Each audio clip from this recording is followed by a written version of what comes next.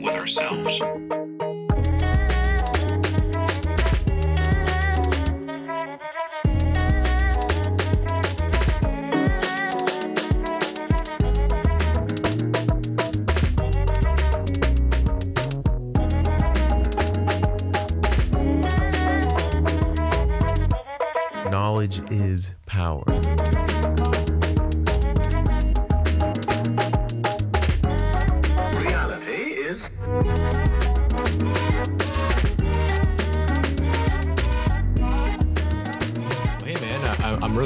To uh, to get the invites here. I was listening to your show, love it, awesome.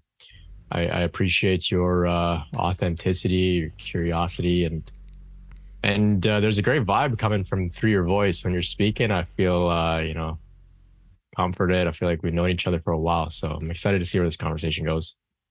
Man, thank you so much. Yeah, I'm I'm really happy to have you too, Brent. I've um I've been consuming your content for some time, so it's cool to. I've actually thought about messaging you for quite some time to get you on here. Um, but it's it, the scheduling for my podcast is a little wonky. I'm my schedule is a bit inconsistent, so um, uh, the last thing I would want to do is have to like reschedule because I get a gig that really needs me or something. So, um, yeah, man, I'm I'm I'm pretty pumped to talk to you too. I I was just listening to your stuff this morning again, and uh, I I kind of had that same thing. Like it kind of um, I know it's a little dorky, but it feels like we've known each other or something. Like there's Yeah. just some relate uh, uh, relatability to the things that you talk about, and I think there's something to be said about um, you know there's there's an innate loneliness that comes with the kundalini awakening experience because you're like who do i talk to about this who knows anything about this so just hearing someone who's gone through the same thing you're like oh okay that makes sense yeah Yeah, yeah. There's definitely a, a major overarching theme of of being alone and uh, confused and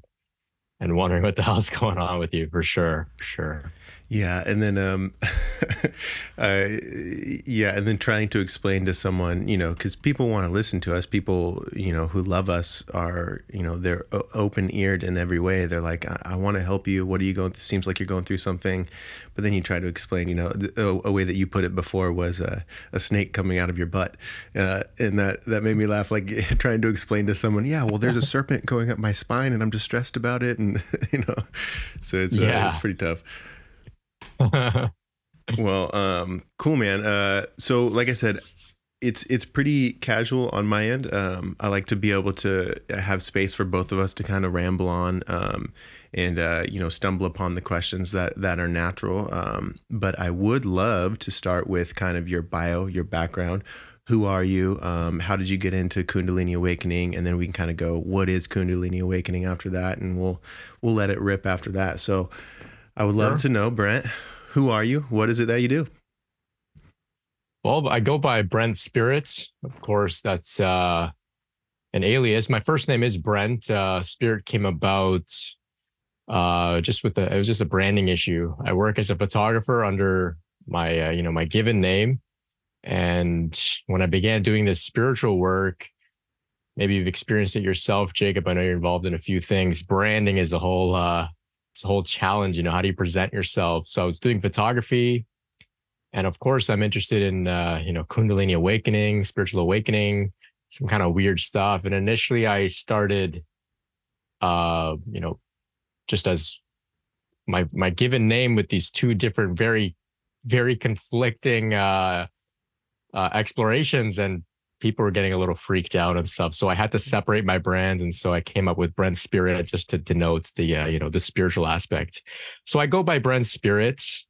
Um, and I like to say that I'm a spiritual teacher.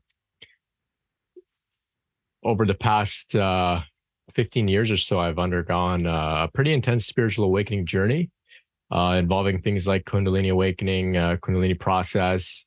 Uh, there's some been some interesting shifts in perception, um, some ups and downs overall that we'll get into. But in short, uh, after some of the the shifts that I, I went through, I began writing online.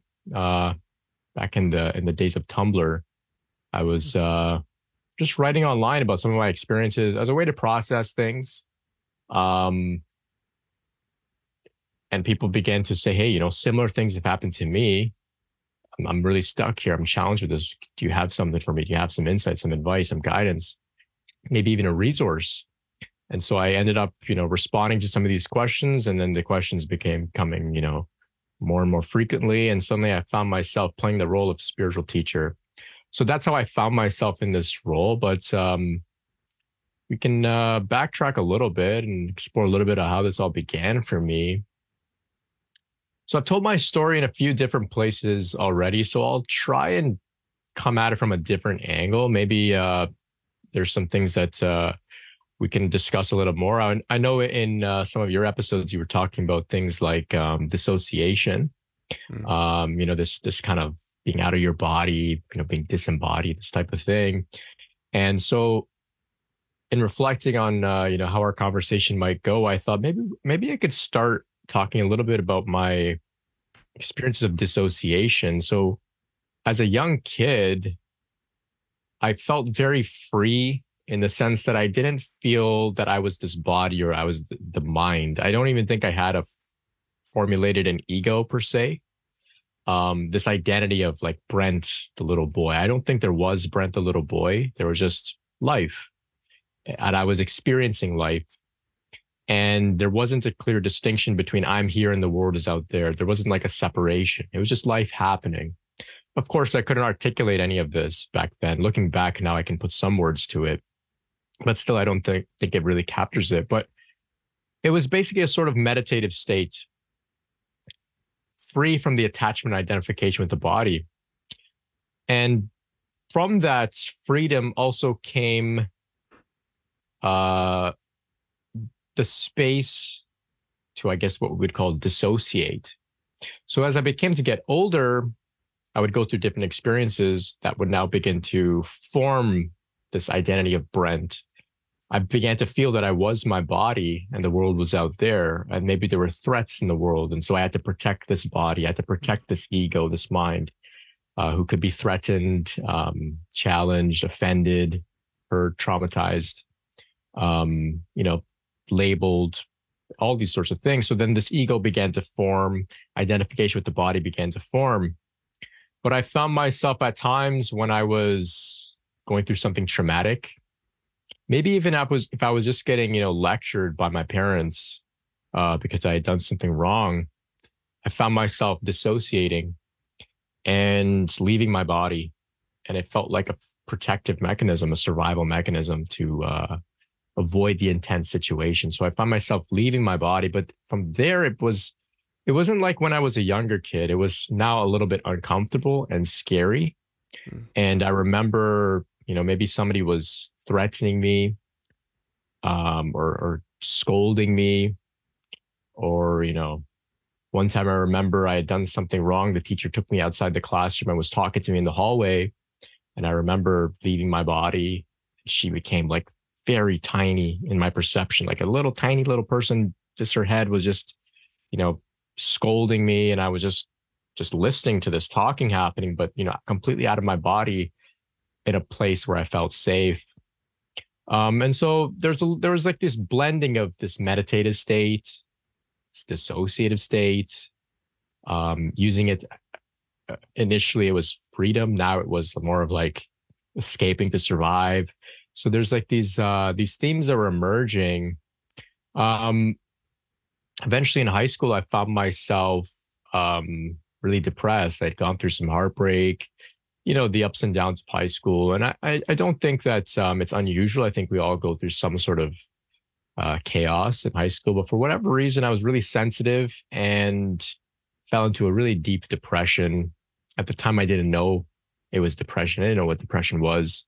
I didn't know what anxiety was. I just felt I'm sad. And of course, I'm sad. Life sucks.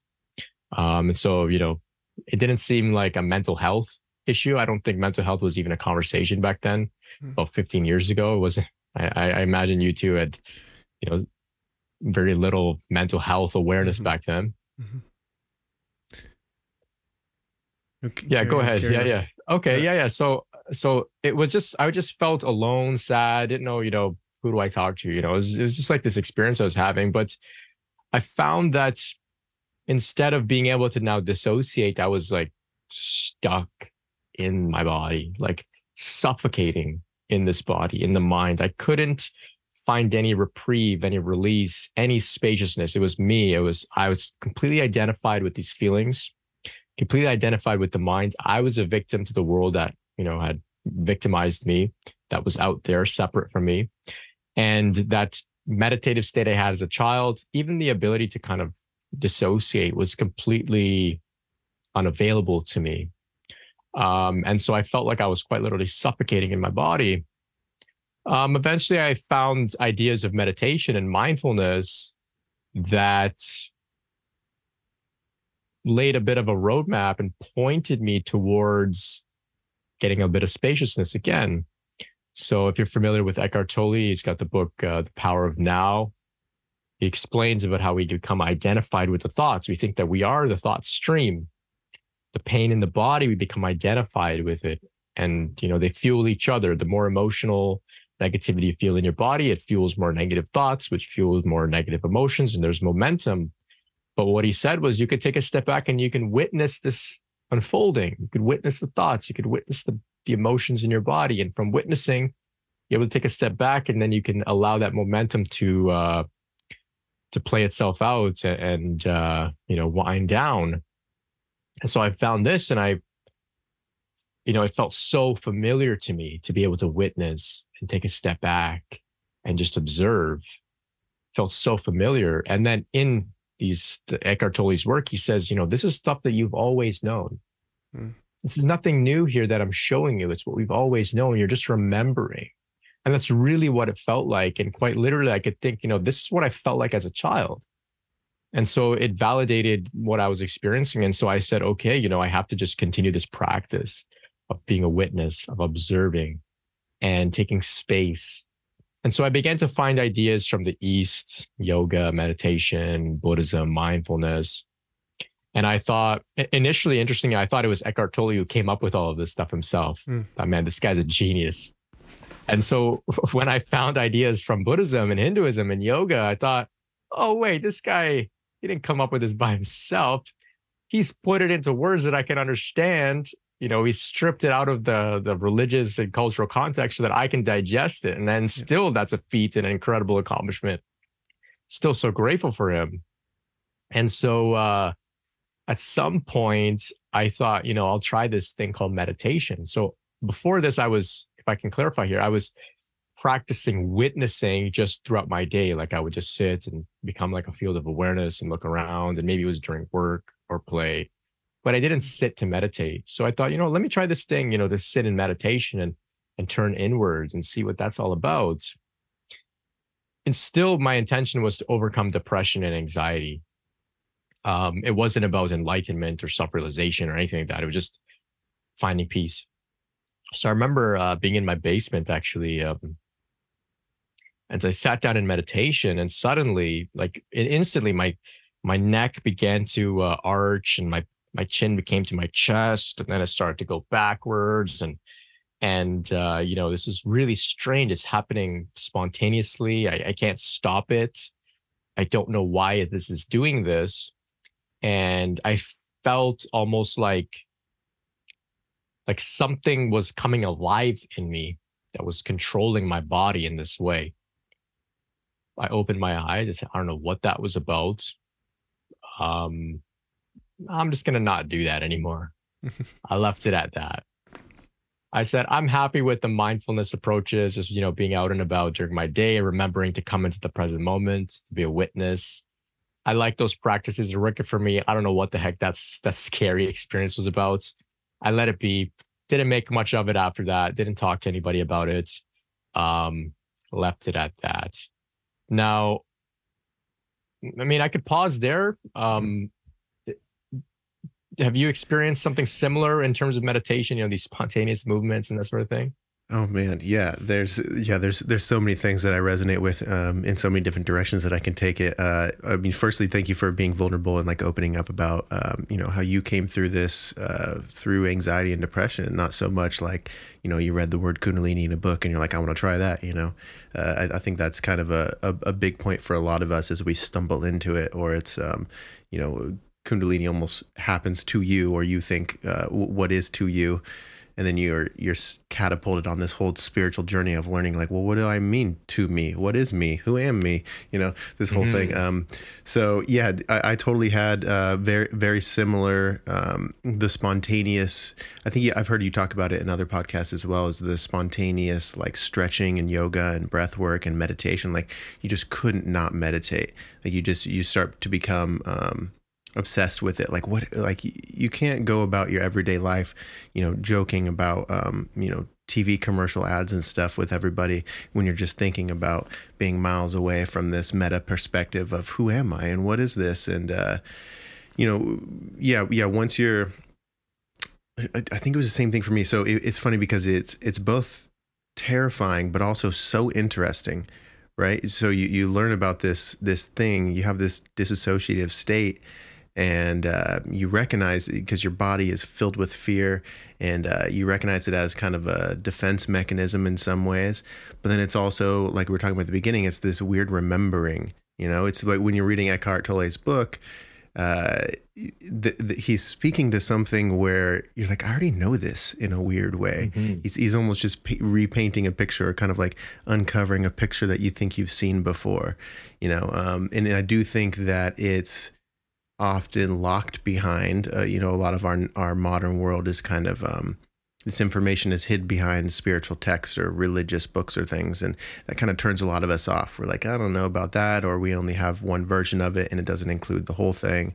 Um, so yeah, in, in any sort of opening to explain, I, I think that um, once we start to learn about this stuff, if we've had a Kundalini awakening or any sort of awakening experience, there is um, uh, we just feel heard, like our, our real self feels heard and seen in, in, in a sense. You know, I, I, I think that uh, you're far from alone in Eckhart Tolle being one of your, you know, first spiritual teachers on the path. I know people personally as well as there's a spiritual teacher. Um, have you heard of Aaron Abke on YouTube?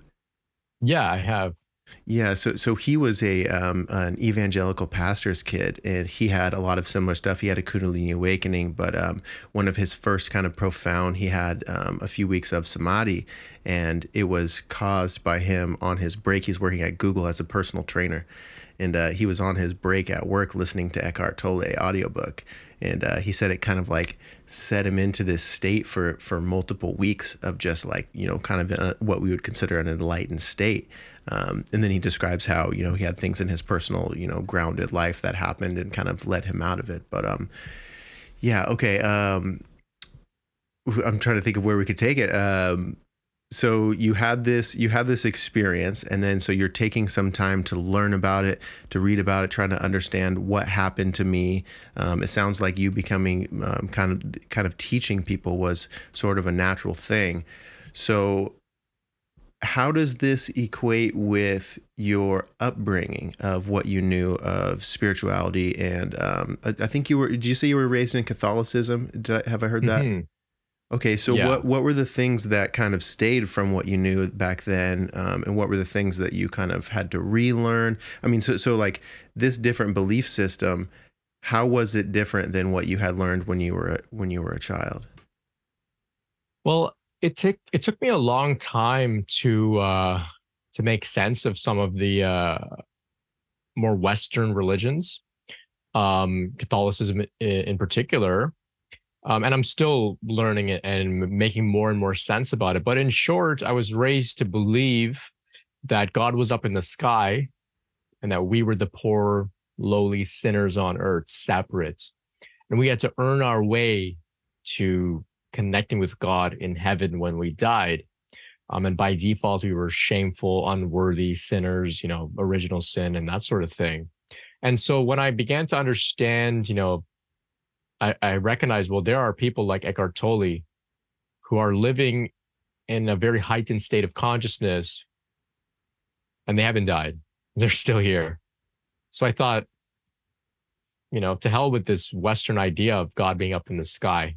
I let it all go. I became uh, rather um, resentful of it for the shame, the guilt, the lies, um, the uh, the mass manipulation that I was seeing. You know, the uh, the the industry of of organized religion. Mm. Um, but but coming back uh, around, I, I came to see that at least in my, you know, it's a general statement here, but it seems that all of these organized religions were formed around a mystic who had recognized that God wasn't up in the sky, that God was within.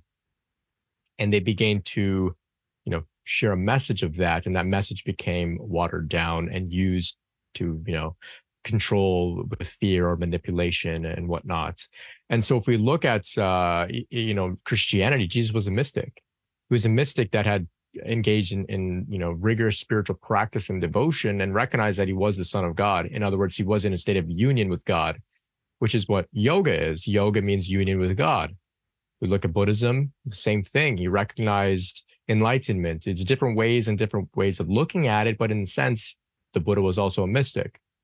And so I said, well, instead of worshiping these people, I can do my best to try and move towards what they had realized, like Eckhart Tolle.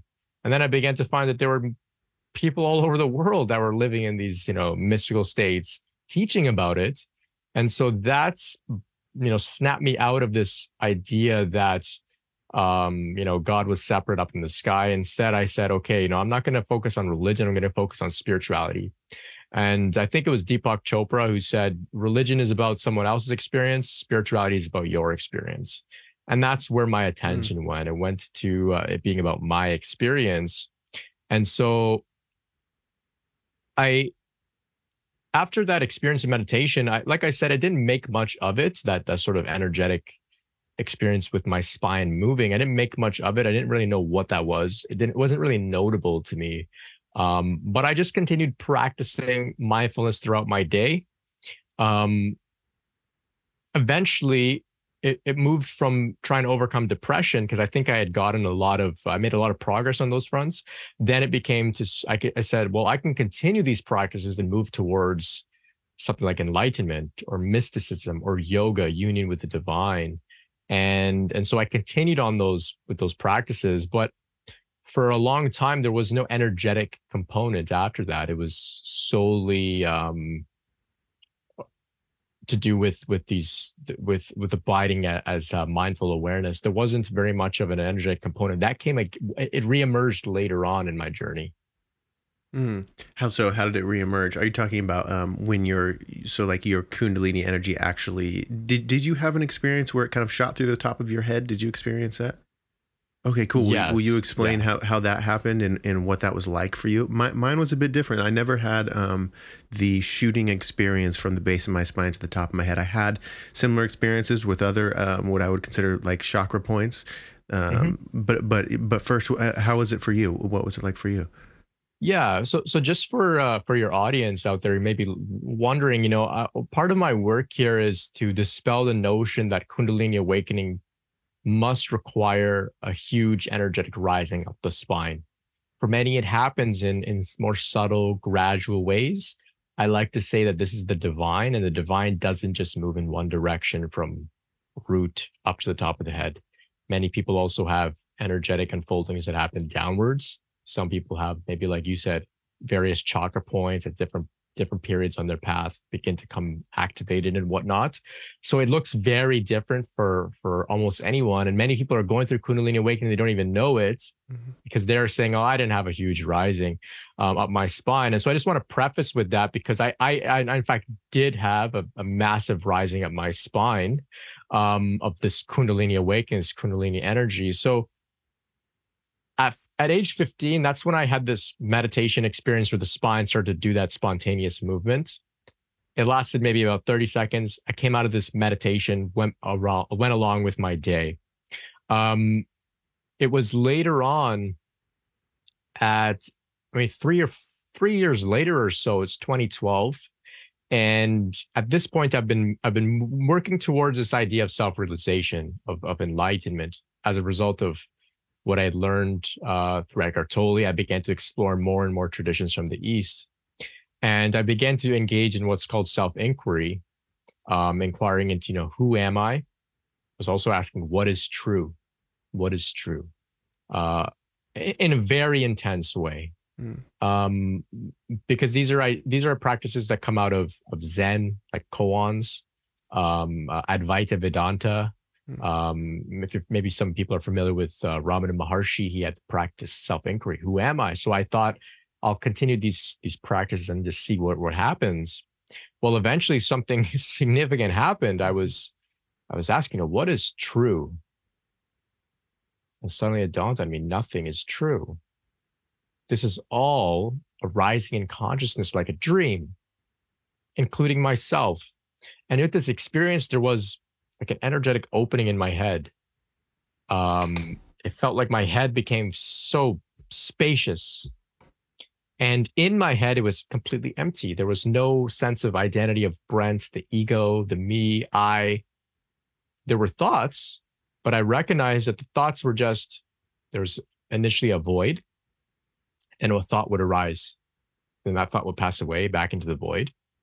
And then another thought would arise. And I saw all this is is just thoughts arising one at a time. That's not that's not me. It's quite literally just one thought arising at a time. There's no center there that I could say, okay, yeah, this is me, this is I, this is Brent, this is the ego, this is myself. And so this was interesting. There was a significant shift. I knew it was of a spiritual nature. Um, and there's an energetic component as well. I, I didn't use those terms initially. Looking back, I see that there was a significant energetic component where the the crown chakra or the head opened up and a lot of consciousness flowed inwards into my head. Um, and so I was abiding in this sort of uh, what some may call a non-dual state. There was no duality here. It was uh, it wasn't oneness per se, but it was just it was not two-ness. It's a difference there. It's very subtle, but there was just not two-ness. I knew that if I'm not, if there's no actual entity called Brent here, well, then how can what I take myself to be be separate from anything else? If for, in order for separation to be here, well, this idea of Brent would have to be here to be separate from the world. And so there was this experience of like, well, I'm one with everything. But with that, similarly to my dissociative states as a young child, I, I was out of my body. My head became so big, almost like it had no no top on it anymore, and I was like almost watching myself like a, from a third eye perspective, almost like a bird's eye view.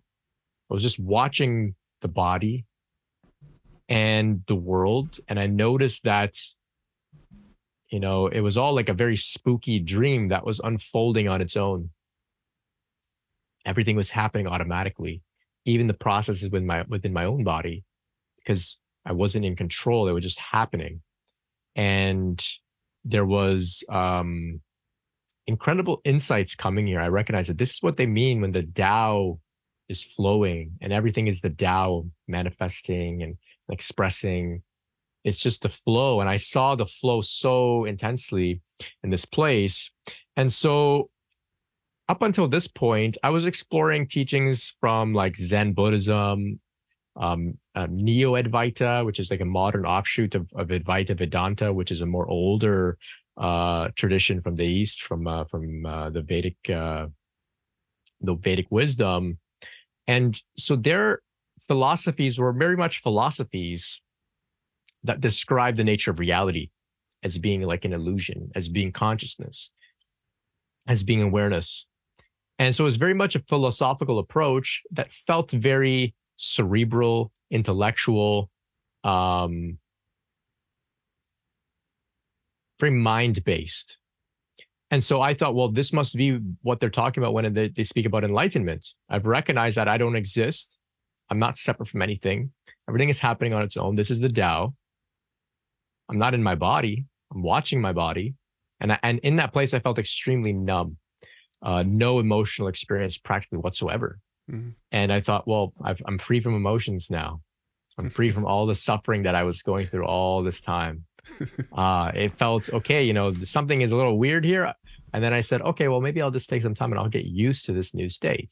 And then this will be my life now, free from emotions, just watch my body, I'll be one with the Tao and so that's where i there were some some challenges there I, I could talk a little bit about it as well because um i did eventually come across a a text that described depersonalization, uh, also called DPDR, deep, depersonalization derealization, mm. and Zen sickness or emptiness sickness, in which they describe that some people uh, within Zen, for example, if they're meditating a lot, they can experience the Zen sickness where they become depersonalized and they feel like everything has become a dream.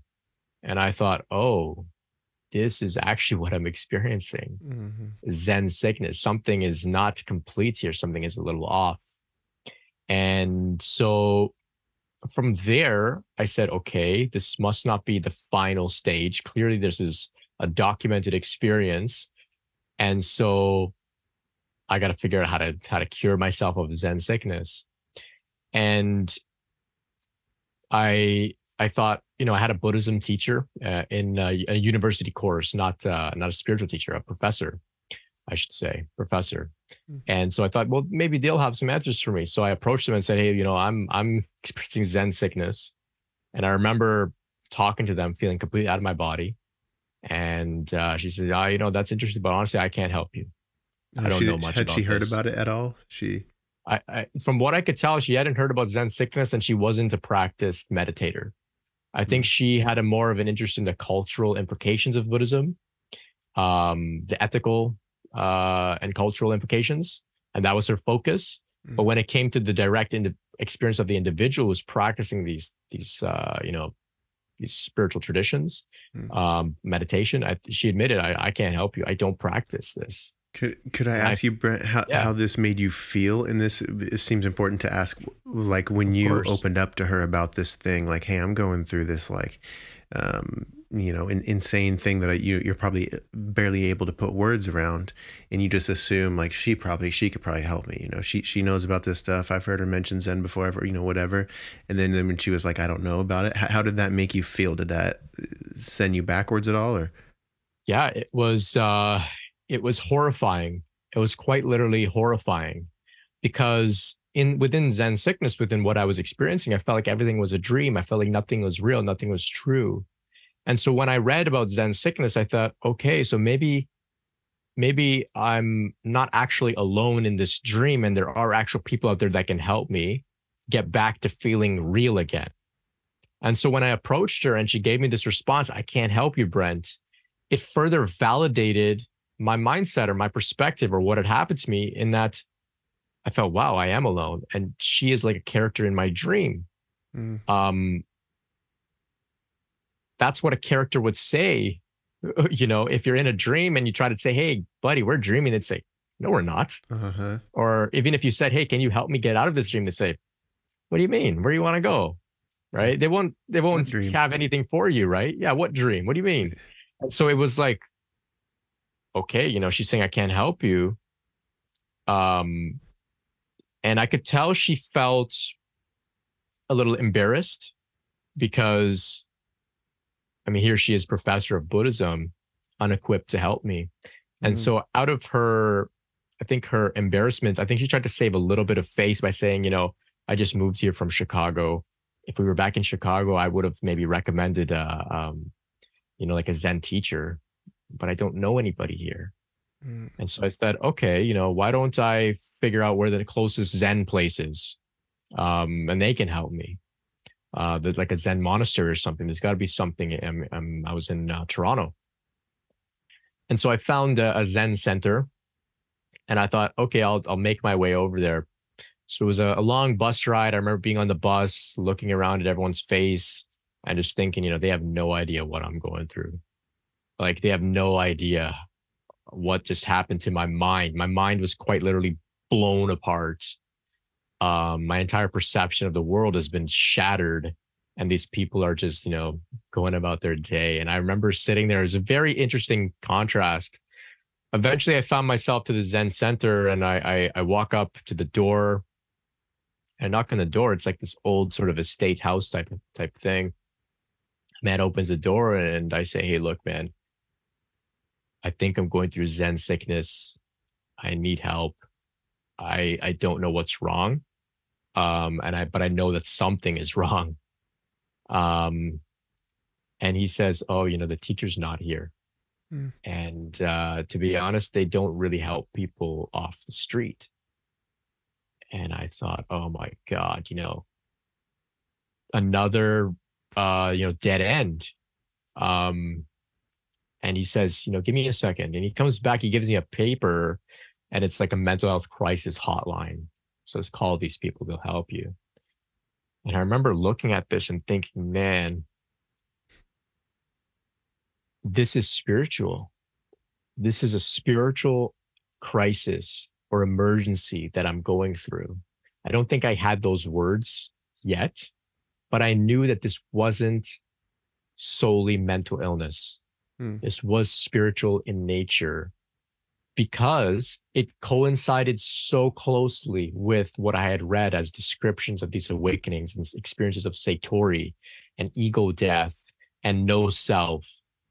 It was consistent with those experiences. And so I knew if I call these people, they may not, they may be even less equipped than my Buddhist teacher or less equipped than even this guy who was maybe practicing Zen. I don't know if he was a teacher or not, but even he couldn't even give me any word of advice. I don't know what somebody on a mental health crisis is going to say to me when I say, Hey, I feel like, you know, I'm a dream. My mind has been blasted open. I don't have an ego or I, I've mm-hmm. seen through my ego. You know, what are they supposed to say to me? Right. And so I thought this is spiritual in nature. And I took stock. I said, well, somehow I came across that term Zen sickness. Something is orchestrating this unfolding. And I tuned in and I felt the Tao, the flow of the Tao, the flow of life. And I said, that is taking care of me. Mm. It's directing me further on my journey. I just need to acknowledge that I haven't yet landed and arrived. A significant shift has taken place, but I need to keep going and following whatever is supported me this thus far because I thought it was a great gift to even have come to realize what Zen sickness was. Um, I, I, forgot to mention it, but in my university course, the Buddhism course, I didn't do any of the readings. I was so busy with trying to become enlightened. but for some reason, during this Zen sickness experience, when my head was blasted open, at some point, I just grabbed the book, the textbook, opened it to a random page, and there was Zen sickness, emptiness sickness. And there was a description. And that's when I recognized what was going on. And so I thought, well, something inspired me to open the book. Clearly, that was the flow, the Tao, mm. my intuition. Something, some intelligence is orchestrating my unfolding. I can trust that intelligence. I can surrender. It was not easy. I was like, what else do I got? I mean, people can't help me. I went to the Zen center. They can't help me. What am I supposed to do but trust? And so I put all my faith in this intelligence that was, you know, that seemed to be holding me and coaxing me to keep going and with that surrender i had to let go of this belief that you know i had i had reached full enlightenment and uh, be humble enough to continue forward on the journey. Mm, wow.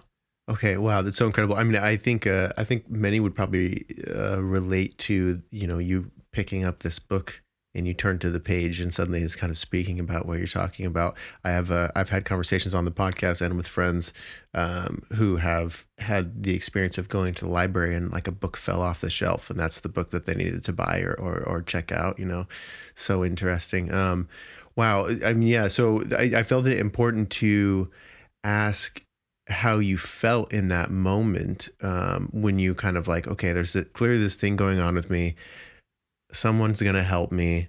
I'm going to go to them and I'm going to tell them what's going on. And she's like, uh, man, I don't know. You know, I, I, I haven't experienced that. I don't know. Um, cause it, for my journey, it was also, I, I think that I had a lot of the similar thing of,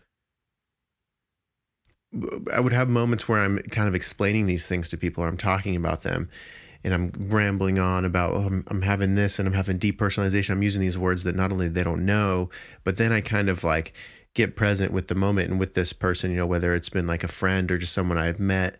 Um, and I realize they don't know what the heck I'm talking about. And then it's like this, oh no, yeah, you really are alone. You know, that snapping out a reminder that, you know, this is a, in a sense a dream world you know and, and it's not to um uh you know negate the the teachers or or friends who are there like they just simply don't know they love us and they want us to feel okay too but um they don't know what you're talking about like if, if you haven't experienced it to like hear these things, it's just so far removed from our everyday waking life that it's very difficult to understand, you know.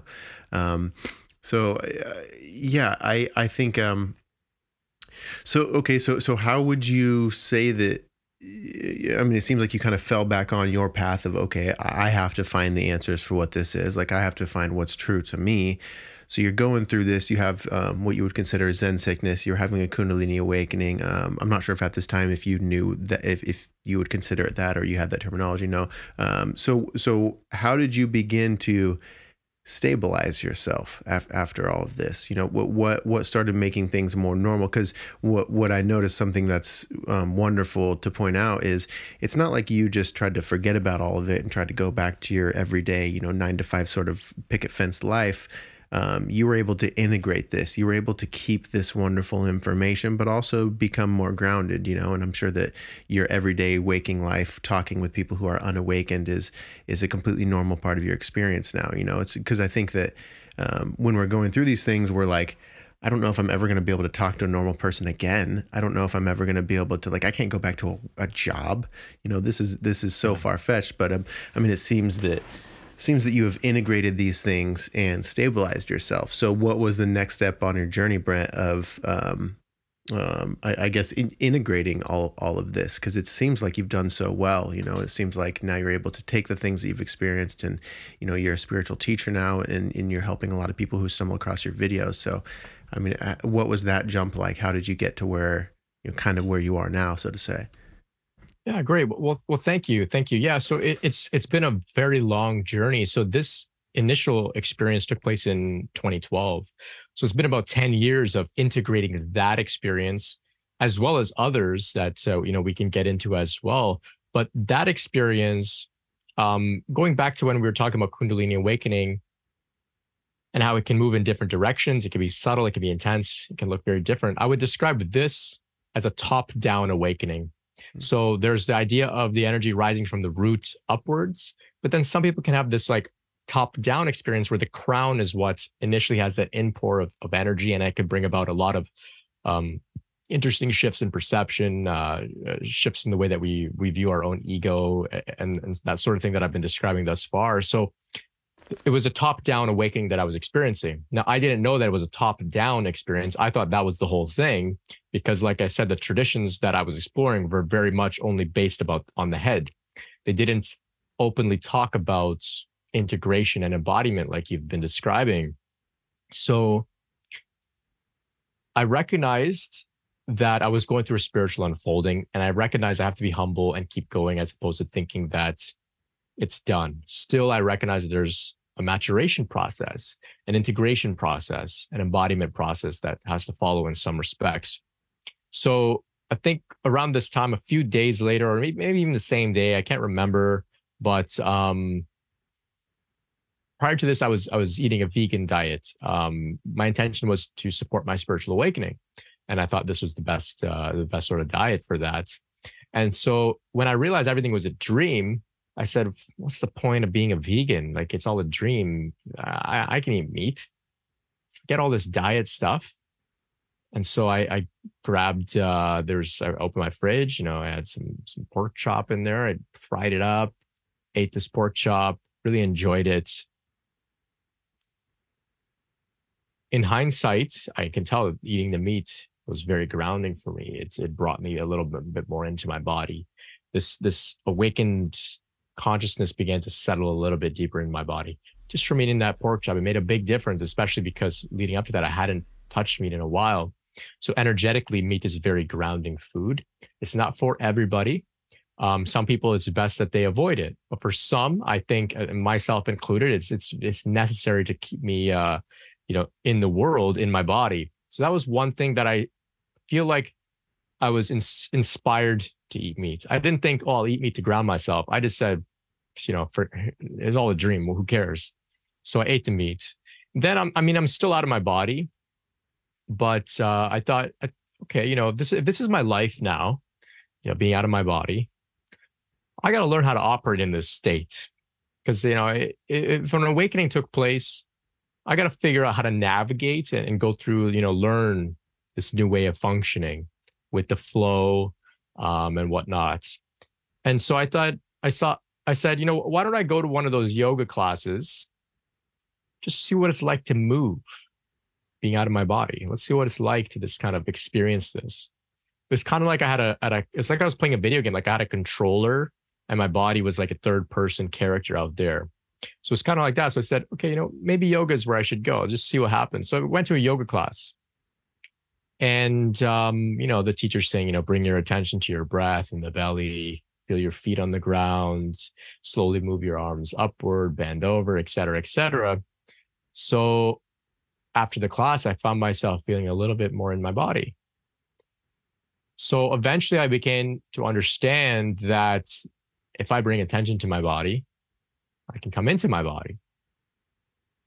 And uh, over the next few years, I just began to kind of work on this a, a little bit, uh, not very intensely. It was almost like an organic unfolding. Mm-hmm. But I recognized that the more I brought attention to my body, the more I settled into my body. And yet I didn't lose this idea of everything being interconnected. I didn't lose the sense of not being mm. able to find a sense of Brent in my mind. I still couldn't, but I recognized the more I come into my body, I still have to call myself Brent and function in the world as an individual, even though I had this massive experience prior that showed me that it's all one. My job isn't to like go sit under a tree and just say everything is one. I you know, especially because I'm young, I recognize I have so much life ahead of me. I got to, you know, establish myself in the world. Um, and then from there, I recognized I, um, I began to feel these emotions in my heart again. I was very numb, but eventually I started to feel things in my heart and they weren't necessarily pleasant. I started to feel anger at times flowing through me in a like really intense ways like never before. Mm. And and it was like visceral and i felt alive like like never before um and and so my relationship with my emotions began to change um and i went through having to understand that emotions aren't a problem just because you've had a spiritual awakening or some sort of spiritual experience doesn't mean you're not a human being that's not able to get angry or upset or triggered or jealous or any of these things and so i began to explore ideas of re reinventing my relationship with my own emotional experience. And I gave myself permission to feel those things. And from there, there was a deep, deep sadness and melancholy in my heart. And the sadness was a deep desire for God to be in my heart. This is the only way that I can mm-hmm. describe it. A deep desire for God to be in my heart. I felt, you know, I have known God the divine, spiritual nature of reality. I've known this on my mind in this cerebral way, this philosophical way, and it quite literally did blast my mind open, but I'm not feeling it. Mm-hmm. Mm-hmm. Not feeling it in my body, in my heart. And so I began to feel this like deep longing and sadness and melancholy that was somewhat pleasant. I don't know if you're familiar with what I mean when I say there's something a little pleasant about melancholy. Mm, yeah, lo- longing is a perfect word that you use because there yeah. is like a like a, I've experienced this before. I know that it's true, but I just don't feel it right now. You know, something like that. Yeah, something about the pace of it. It's slow. It's it's poetic or something like that. Mm. But it felt warm. And I just decided to sit with this and just be with it. And so my meditation practice reemerged. And it went from being this like very psychological or intellectual or mind based meditation of just witnessing thoughts to just feeling this intense love and longing in my heart. And from there, I would meditate lying down. I would just feel this and I would feel my spine kind of becoming um spontaneously moving again, like how it did when I initially was meditating that very first time. The spine would kind of flow, and it wasn't, for some reason, I didn't get afraid of it this time. I just let it happen. It just felt mm-hmm. like I should just let it happen. It was kind of just this gentle spinal bending. this wasn't yet the major rising experience, but I could tell that now my awakening was moving into my body. And it was within the context of relationships that helped me to integrate as well. Excuse me. So you're asking about how I had spent, you know, what what I had done to integrate and embody. Well, I used relationships as the context. And so I thought, it doesn't matter how awakened I am. It doesn't matter if I've seen, you know, beyond my ego or whatever, you know, airy fairy ideas I have. I mean, how deeply can I relate with somebody? Mm-hmm. Can I attract a partner and keep that partner and have a meaningful and deep relationship? And I, if I could be honest, that was challenging. Um, you know, I would maybe have it wasn't even just in a romantic sense, but you know, I'd have challenges with with my family, with with my parents, with uh, my friends. Emotional things were coming up, and I recognized I got work to do. Mm-hmm, like mm-hmm. it doesn't matter what happened to me in 2012, my mind being blasted open. You know, I'm I'm dysfunctional in my relationships. Um, you know, n- it, relationships are hard.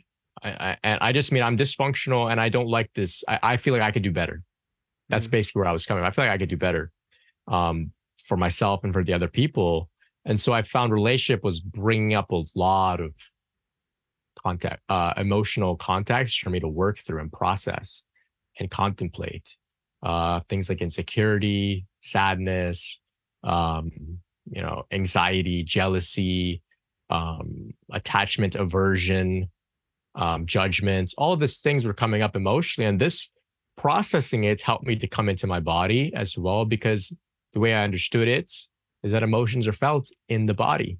So when we talk about embodying our spiritual awakening experiences, it happens in the body, and that it very much has to do with um, our relationship with emotions. And so this didn't mean that I was trying to get to a point where I never experienced negative emotions. No, I just wanted to get to a point where I would stop judging myself for having them using mm-hmm. spiritual ideas like spirituality means always being peaceful. So those ideas began to uh, um, be challenged. Eventually, I gave myself permission to feel more and more. And I considered this to be the practice of self love, unconditional self love. So it was like I was loving myself as if I was my own child coming to me and crying and saying, Hey, you know, this happened to me. I feel sad. And I said, That's okay. It's okay that you feel this way. I'm not here to tell you don't feel that way. I'm not here to talk myself out of feeling those ways with spiritual philosophy. Feel it fully, you have full permission. Mm. And this was my approach of self love. And from there, negative thoughts were arising, thoughts that seem to contradict all of my spiritual awakening up until that point. I'm a victim. I hate the world. The world hates me. I'm separate, blah, blah. And I thought, it's okay for you to think that way. It's okay. I'm not here to talk myself out of these thoughts based in separation or based in the illusion of the ego or false beliefs or whatever. No, have these thoughts. You're welcome here. And so I established a safe container for myself in my practice where I would just lay down, hands in my heart, and feel, think anything that would arise. And during those periods, I would overcome a lot of challenges and my spine would kind of move here and there. But still, this wasn't even the major uh major rising experience. So we could get to that in a bit, but I'm curious if anything's come up for you based on yeah. what I shared. I know I, I shared a whole lot. No, no, I love it. I, I thank you so much. I, I want to let you keep ripping because I feel like you're making so many wonderful points. This, um, I think, this is a huge, important part for anybody who's listening. If they they're going through any sort of um, similar experiences, as this is is the allowing period you know you, you really like took time to allow those things so we can live so much in the head so much in the crown and the third eye chakra that um you know integrating like the the the real feel, feelings of of being in a body jealousy and, and, and anger and uh, you know resentment and and uh, just all, all these things that are so human to feel. And uh, a lot of the times our quarrel becomes not allowing them.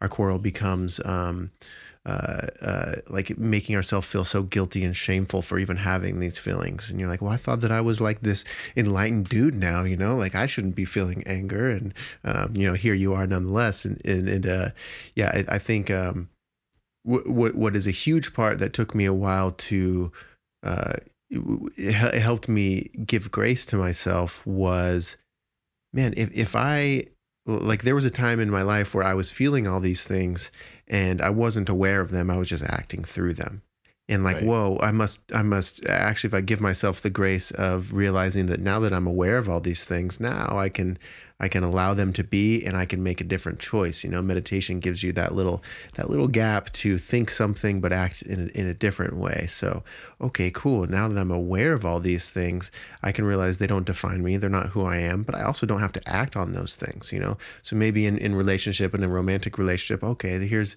here's jealousy rather than like just saying that thing, you know, rather than just expressing the jealousy and, you know, getting caught up in the same karmic loop being able to to see the jealousy happen in my body, be able to see the anger going on, being able to feel the anger and, and the, you know, resentment or whatever it is rising from my heart. It's like, okay, well, all right, that's what that feels like in the body. This is part of the experience, you know, and you can kind of tap in. Uh, it seems like to the to the crown chakra, to the third eye chakra of realizing the truth of the thing, and then connecting with like the acceptance. You know, the acceptance of it. It's okay that this is here. It's it's all right just just let it be and there is almost this like unclenching of the fist when you allow something you know the um one of the four noble truths in buddhism is is acceptance right so uh, it's it, it becomes this profound thing of allowing yourself to be so human allowing yourself to consume the meat you know uh, allowing yourself to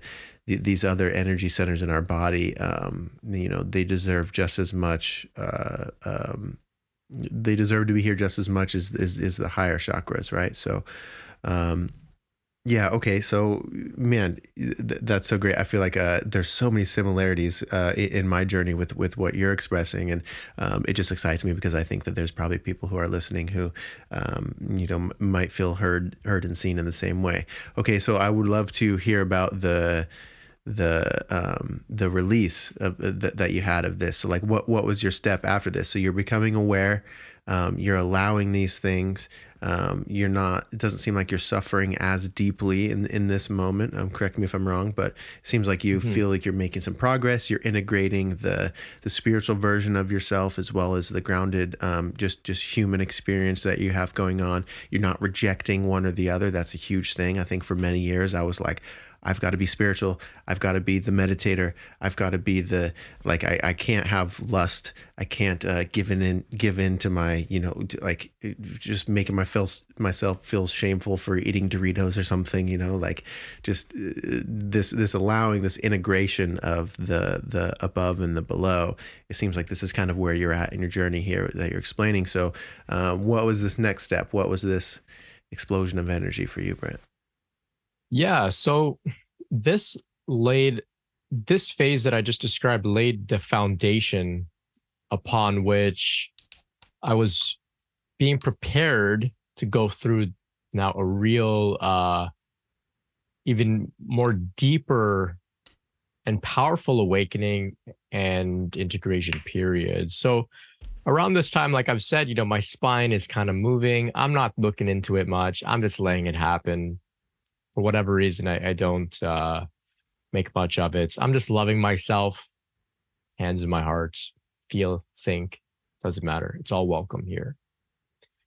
And around this time, I began to connect online with uh, some spiritual teachers that you know had YouTube videos and whatnot, and and they were talking about what we would call Shakti, um, also known as Kundalini Shakti, which was this energetic component of awakened consciousness. And they were talking about it. And I was also listening to some teachers that uh, had Kundalini awakenings, but didn't talk about the awakenings themselves, the Kundalini experience, but instead they talked about being a human being and being willing to experience the thoughts the emotions and go through the different stages of life etc and, and I, I, can name those teachers i was i was listening to uh, ram dass who i know you're familiar with yeah mm-hmm.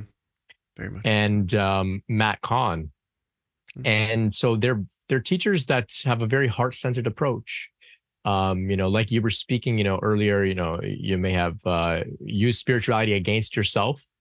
Uh, you know, I can't eat the Doritos. Uh, that's not spiritual or whatever it is. But th- these guys, you know, they, they never seem to imply that we should use spirituality against ourselves. Come as you are to the path, and it's okay. It's it's welcome. In fact, the path is welcoming and accepting yourself as you are with your thoughts, feelings, and emotions. Mm. And so I was hanging out with these teachers that were talking about these things, and there was a couple others. Um, one of them I like. Uh, his name is David Spero. Uh, he was talking about Kundalini. I'll be honest, I didn't even know what the hell this guy was talking about. I would just listen to the videos and just kind of go into a sort of meditative state. And I would just listen. I don't even know what he's talking about. I don't know Kundalini. I don't know what he's talking about. Just listening. For some reason, I would just drawn to these videos and I'm just listening. And I would listen to Matt Kahn and he would talk a lot about, like I was saying, using relationships as the context for our awakening and not feeling like we're a victim. Um, Ram Dass, of course, would talk so, so much about, you know, being in the heart and loving God and and tell very human stories. And he was so vulnerable as well as well at times about some of his own shortcomings as a teacher. And so i was hanging out in the vicinity of these teachers. I would say that looking back i was hanging out in their energy fields even it was transmitting and radiating through video through audio it doesn't matter. It's it's transcends uh, the limitations of the physical. And in their field was this radiance of shakti. It was this radiance of kundalini. And like I said, I didn't know about any of that. So I'm just enjoying their teachings, living them out. I eventually um, connect with, uh, I began dating a girl and um, the relationship was, was very mystical and wrapped up in a lot of synchronicity, these, these odd coincidences and serendipity. And, you know, um, just just a lot of interesting stuff that seemed to imply that I had found my way into the spiritual perfect relationship, you know, the spiritual you know, like a peak of all relationships is what I felt like. Um, soulmates, whatever you want to call it. That's what it felt like. It felt like the Tao had brought me here, the flow, the universe had brought us both together. We seemed to both know it and recognize it. There was a lot of synchronicity that seemed just undeniable. Um, and it all just made sense. And when I say synchronicity, I don't mean, you know, just texting each other at 11 11. I mean, like, just layers and layers of deep meaning, like some sort of blockbuster movie. And when we were together, this this energy in my body would become activated, and I felt energetic phenomena. And I just kind of let it happen. It kind of just felt like, well, this is what of course i'm with i'm with my soulmate of course the energy in my body and my chakras are going to do all this opening and of course i'm going to have these things and I, I i it was just very mystical and magical and and um the relationship went went really really deep very very quickly and i was on the top of the world. Finally i loved myself with self-love to the point where I was able to attract this partner. And of course, they say, you know, if you want to attract a great partner, love yourself first, overcome your, uh, you know, your, your neediness, find confidence, etc. Love yourself if you want somebody else to love you. I'm like, I did it, and this is proof. Here I am in this relationship. You know, I made it. Uh, her and I um, decide to explore um, psilocybin along with another friend as well, who was also you know very much uh, en- enwrapped in this spiritual uh, journey of us together. And um you know it's interesting because i've done a, a lot of work on kundalini um on my channel and i actually haven't told this story uh in the detail that i'm about to tell it. So uh it's exciting for me. I was you know waiting for uh, for the right time. Excellent. um and so so so together we uh, you know we take a little bit of these uh, psilocybin mushrooms. And now if i can preface here a lot of people do mushrooms a lot of people do drugs very few have a kundalini awakening. And i'm not saying this to uh, come across as arrogant. I'm saying it just as a warning for those who may be listening and saying i'll do it and i'll have a kundalini awakening. Yeah I, I, a lot a lot of spiritual practice like i've mentioned has gone in um, I was already in the midst of having energetic phenomena without the uh, the mushrooms. So uh, I just want to clarify that they're powerful tools, useful tools, but um, not for everybody. Okay. Um, and so, and of course, you know, there's all the uh, the health and legal issues, etc. Um, but um, so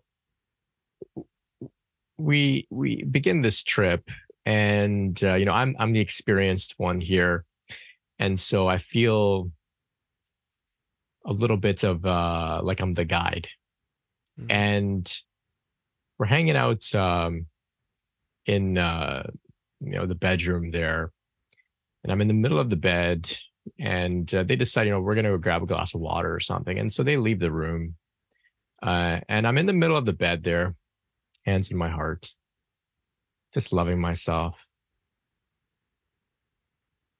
saying I love you over and over with each breath. And I feel simultaneously that I'm being held and that I'm holding myself. It's like I'm holding someone else and someone else is holding me, but it's still me. And I'm, I'm, you know, I'm really with myself. And I'm really going deep. I mean, this is the practice that I was doing even before, like I described, you know, hands in my heart. And I'm just loving this. It feels incredible. I'm held by God. I'm held by myself. I am God. I'm a child. I'm nobody. I'm everything. It's incredible and suddenly I have a thought, an anxious thought. Oh no, they're they're gone. You know, they've been. I don't know how long they've been gone. You know, I thought time can get a little weird on those experiences. I don't know how long they've been gone. Maybe something's happened. Maybe they're you know somebody got hurt. I need to go check on them. I need to leave this incredible state that I'm in and go check on them. And I hear a voice that says, "Hey, whatever's taking care of you right now, Brent, it's taking care of them too. So just just relax." And so I said, all right, I could trust that. And so I went deep into this meditation again, you know, just saying, I love you over and over. I love you.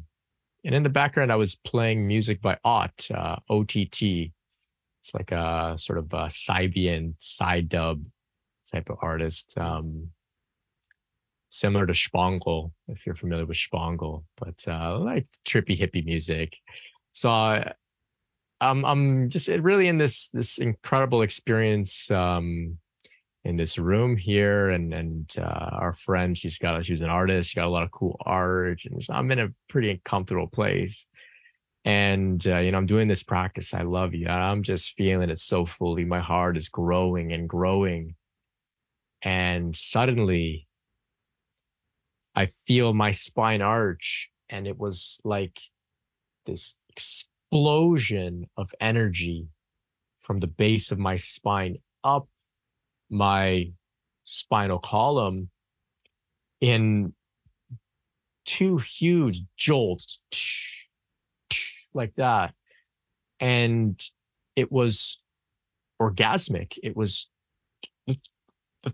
orgasmic times a thousand and i can only describe it as a freight train moving at light speed, squeezing itself through the shaft in my spinal column, all the way up to the top of my head, exploding out of my head. And I found myself in this vast spaciousness. And, you know, it was like this incredible relief was here as well. And so uh, I came back out of this experience after I don't know how long, but here I am in the room. And, you know, I, I was like, oh my God, you know, whoa. and I recognized, whoa, I'm alone. I, I, I thought I was quite literally having sex with my partner.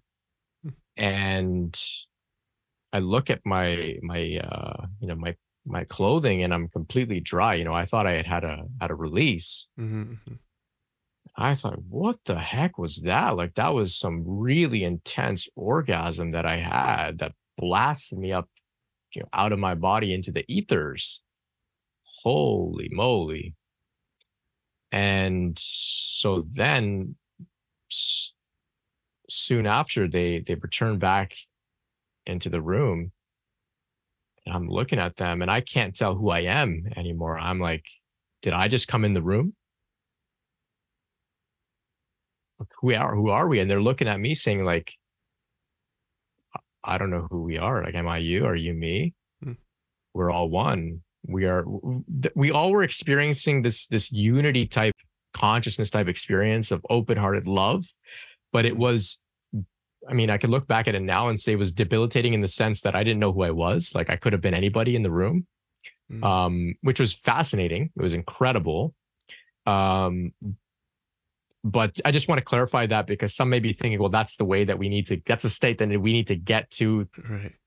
To operate in the world. I mean, no, you can't operate in the state. You, you got to have a sense of separation. But in the moment, it was like this eh, total dissolution of, of uh, ego and oneness and connection, the three of us. And so, um, so they, sorry, sorry, Brent. So ahead. they were experiencing this too. Like they were the, the they oneness. Were all, yeah. See, yeah, I think that's so fascinating. Wow. Yeah, okay. it was it was very very incredible. Um, I, I, think it has a lot to do with the psychedelic experience. Yeah. Not that the, the not that the, the the psychedelics were like tricking us into experiencing that. I think the psychedelics put our nervous systems in a state of being in frequency and vibration in order to experience yeah. that. Um, it's not just a hallucination. I think it's a real experience that we were having. 100%. Supported. Because yeah. I know that people do experience these things without the use of psychedelics, right? Um, so so we had this experience and, and so you know i'm telling them you know what just happened to me i'm like you know i had this huge orgasmic explosion up my spine and uh my partner said you know we were laying on the floor in the room uh, in the next bedroom looking up at the stucco ceiling and suddenly there was this massive explosion of of uh, the stucco and I just knew that it was it happened at the same time, you know, that I had this explosion. Wow.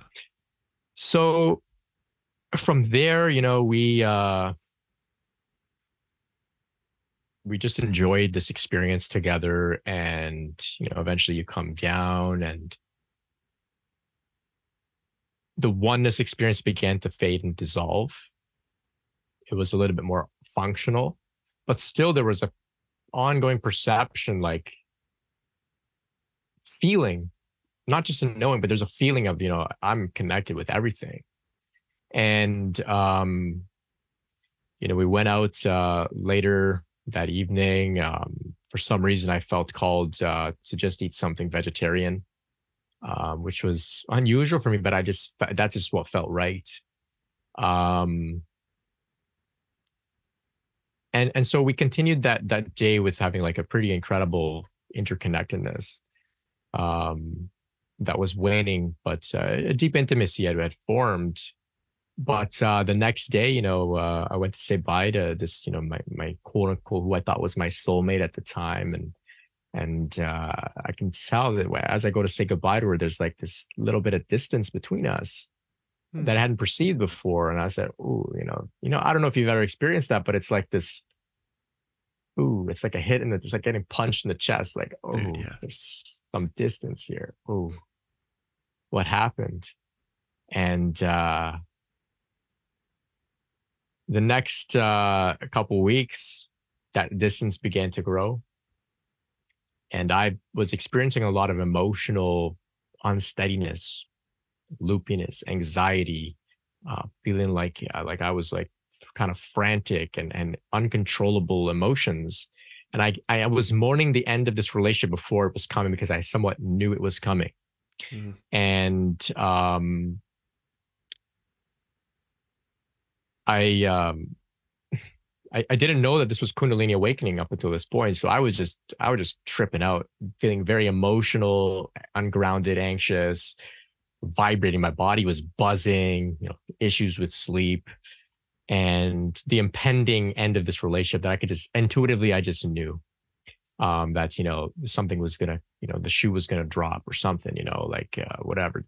And so um, I'm, I'm at, uh, I'm working at this car dealership.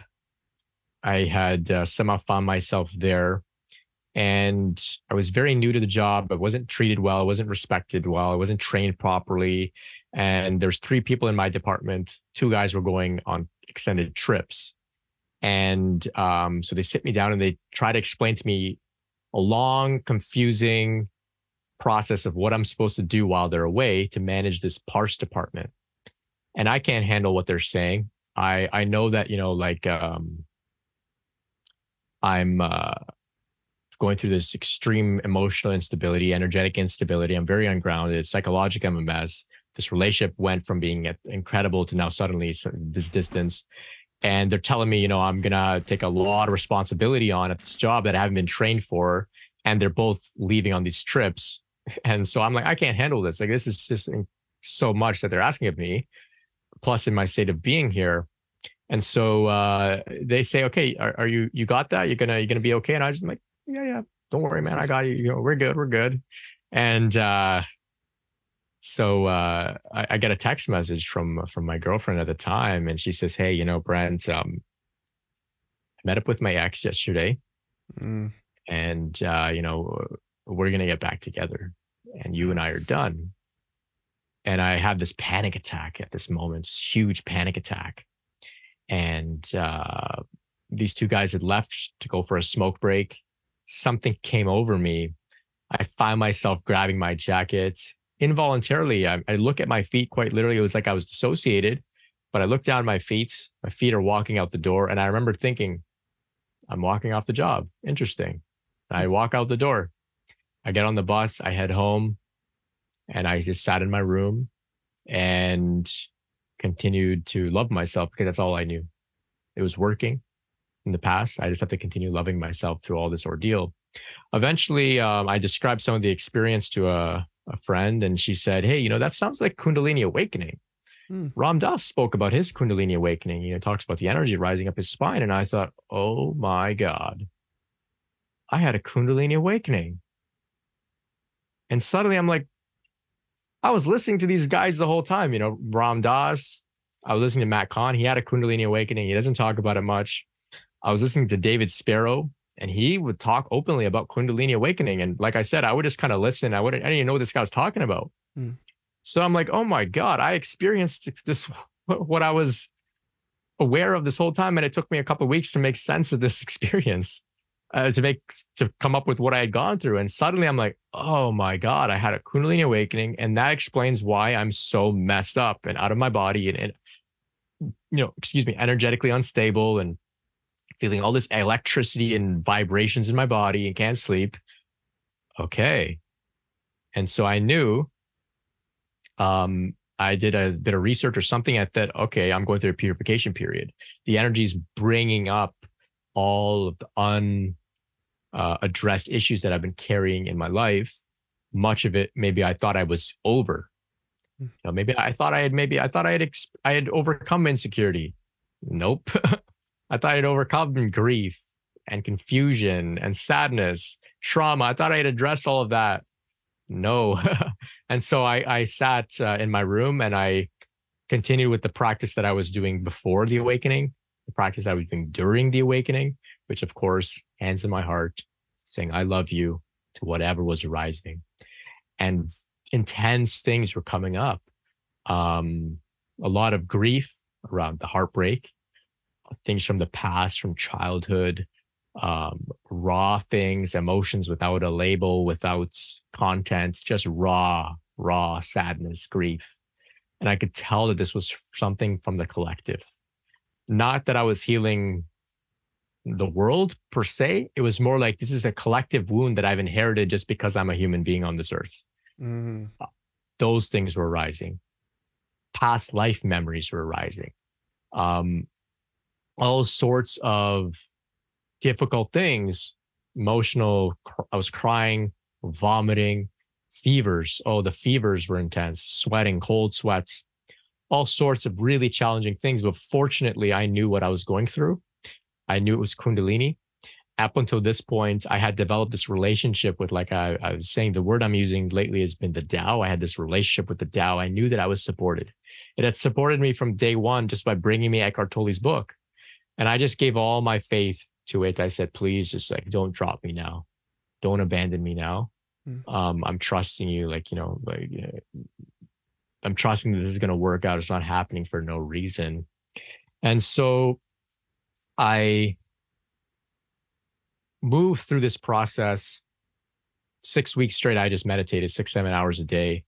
Not um, because I was a monk or something. It was just I didn't know there was nothing else for me to do the intention the, the the emotions were coming up so intensely i had no other choice i just had to sit with it And I would go through a healing cycle. And when I refer to a healing cycle, I mean like a, a phase. It could be a couple days, it could be six hours, it could be one night, it could be a weekend, whatever, where I would be processing some difficult emotions. But when that phase ended, quite literally, I felt healed, transformed, more peaceful, more spacious, more safe in my body.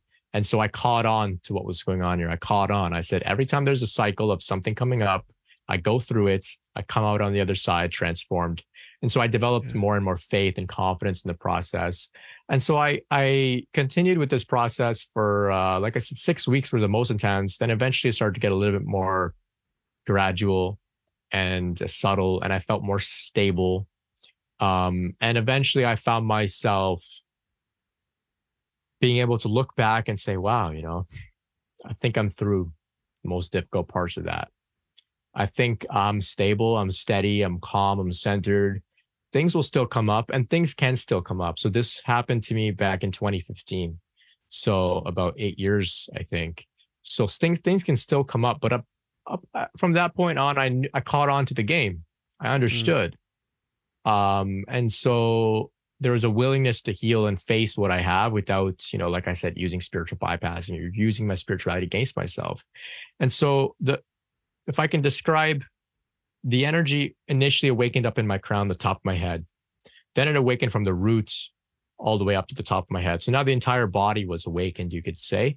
And I found myself abiding for the most part in my heart, which I like to call like the center because it's the center of the spiritual awakening that happens up at the top of the head as well as the emotional and bodily awakening that happens that happens from the root. And so in the heart, I'm able to like integrate the two. And I like to think that, you know, I'm working towards more and more deeply embodying my spirituality as a human being uh, in the world. And so, um, you know, I, I, can pause there and you can see uh, if anything's coming up for you, any questions. Uh, I know it was intense. It was good to, to finally talk about it in that way. I, uh, I was Man. waiting for the right time. Oh, beautiful. Yeah, yeah. I mean, dude, thank you so much for sharing all that. Like it's such a, you know, it's such an innately personal thing, but uh like I said, I mean, and I think probably like your journey as well is when we hear other people telling about their their versions of it or like how they went through it it's like such this feeling of being heard you're like oh gosh you know like with you you're like oh wow that's what's going on a kundalini awakening like i i had one oh geez and then suddenly you kind of have a, a mile marker of sorts like you're like okay yeah. so there is a uh, some sort of apparent direction in which I'm I'm heading, right? You know, so okay, so I had this, now what? You know, it's the because it's such a destabilizing process for for so long, you know, and and I think um uh you know for some of us it, it, varies. I mean, I, I have heard people talk about how it could be, um, you know, anywhere from a couple months of, of an experience to, you know, 10, 15 years of, of experiencing this. And, you know, I don't think there's a wrong way or a right way or a um, set in stone way, but I think that, um, you know, once it starts to happen, once the Kundalini begins to rise or even like the, you know, it's interesting because like very much in, in you're saying this too is, it's there's so many experiences that lead up to it that are for sure a part of it. You know it's not like your kundalini awakening only starts when it rises up your spine. You have like some sort of awakening experience like for you on the psychedelics where um, you know you kind of like saw this white light and it was like this orgasmic feeling through your body. Like that's as much the kundalini awakening as the the things that led up to it over the, over the course right. of the few years. So you know one thing that i noticed for me um, I've always had this fascination with time. Like time is always so interesting to me in so many levels. Like my um, my first eight years of of being a DJ and performing and stuff, I went by DJ Kronos, who's the Greek Titan of time, um, and and I was just like, man, if I could just you know, there's those moments where an artist on stage could make you just like time just goes by so fast. Suddenly you realize it's been 45 minutes, but you've just been transcended and transported in this way. You know, I thought always thought that was fascinating. Um, but I, I think that it's funny because I didn't even realize my fascination with time is is like spiritual. It's uh, uh because when these things happen to you, you start to realize the connectiveness of, of everything. And once you allow um, you know your journey to happen you're like oh of course so i had to have those things happen to me when i was a child or else i wouldn't be this version or i wouldn't be able to like you know speak about these versions of these things that are happening to me now. Um, yeah so so the the understanding of time itself seems to uh, kind of change when you're on a spiritual journey. And, and i don't know if it's just just with kundalini, kundalini or, or awakenings or whatnot. But um, I think a lot of people can kind of resonate with seeing how the series of events that led up to the spiritual awakening and where we are now are you know sounds kind of cheesy but like they're also perfect you know they're 100% it's like like the, oh of course those things had to happen for me to be this integrated um you know not you know, for lack of a better term, actualized. Like I'm, I'm you know, some version of my actualized self, or um, I'm, I'm where I'm supposed to be on my path. You know, not not an, an arrival of being, you know, an actualized avatar or something, but um, yeah, it just kind of gets you to be right where you're at now. Um, wow. Okay, so now that now that you have gone through these things, um, I think. Um, I think I think for me there was moments where uh, I was so enthralled and so like obsessed with I because I, I, had I had a similar um, where I was like I couldn't help but meditate like for a, long periods of time. I couldn't help but do yoga. Like my it's so interesting because it was such like a, a kooky, weird, insane moment of my life, but it was all I could do. Like so I would I'd wake up in the morning, um, and luckily for a while I had this like schedule where um, I would have like long bouts of I would have weeks or months where I'm not really working or I'm not really having to do much. I'm not really having to be social, so I can kind of be in these esoteric realms for a long time where I'm reading a ton of philosophy. I'm listening to audiobooks. I'm like going on long runs listening to you know Ram Dass or any of these spiritual teachers, and so I'm I'm in this mindset. Um, and I feel like I'm I'm not really having to be grounded in in a sense, which is I, don't think I'd really recommend in some ways, but I think it's also how what I had to do. Um, I would mm-hmm. walk outside. Uh, I had this wonderful backyard of like privacy and uh, there was nature and birds and there was like tons of squirrels and like sometimes I'd be meditating and like a deer would walk right up to me where not like wow. touching distance, but probably like within like 15 feet. And I would sense their energy or something and kind of open my eyes and realize they've just been staring at me like, what what is going on?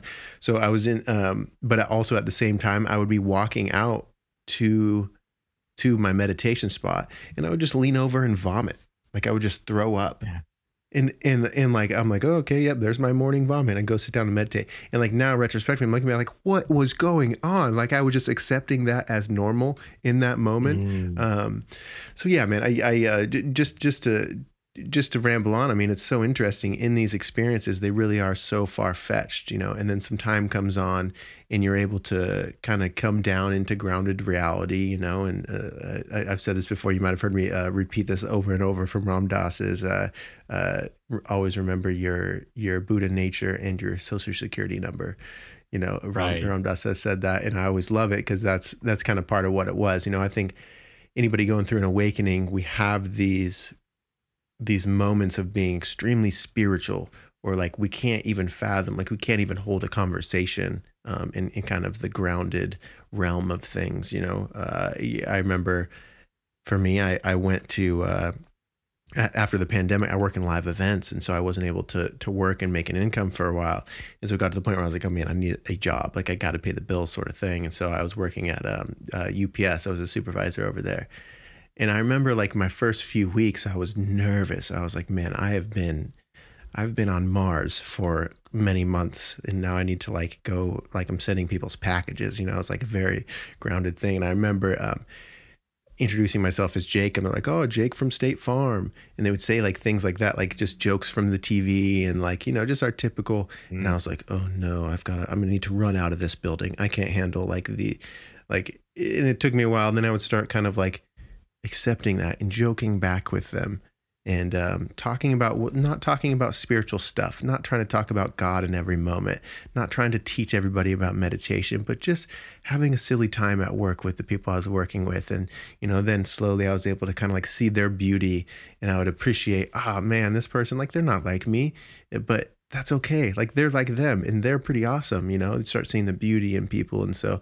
yeah, there's just like this integration process of there's a lot of fear of thinking that you're gonna like lose your spiritual knowledge or like, man, I think I was up there on the mountain and I've got to descend down. And um, I think that you've described in, in your ways, Brent, like a, a beautiful way of of of of having both, you know, in a sense. Like there's this uh, um, I don't probably not the right term, but as above, so below. Like you, you're you're you're able to kind of um, the the integration of being spiritual and being a grounded a human. We're in this body. We're in this you know uh, meat suit and, and, and all this. Um, and um, I think yeah, I don't, I don't know. I, I, think that's an important part to point out because there's often points for me. Um, another experience that happened for me was when I first kind of had um, mine didn't shoot out of my head, but I had my mind connected to my heart. And it was this insane experience that like lasted multiple days of being in this like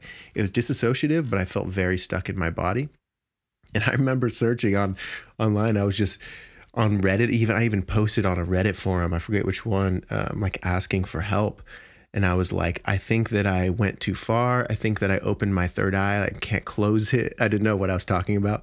I was literally searching up YouTube videos how to close your third eye, like because mm. I was just so ungrounded in in so many ways. But you know, um, now my understanding of those sorts of things, like it's not that you need to shut down one or or add more to the other. There is like a, a natural balance and integration that that um, seems to happen. Um, so yeah, um, okay. So we've still got some time left. I, I do have like so I had I had a couple notes for you, Brent. Um, and, and of course, if there's anything else you, you, you want to mention, for sure, bring it in. But um, I did. I, I, was curious.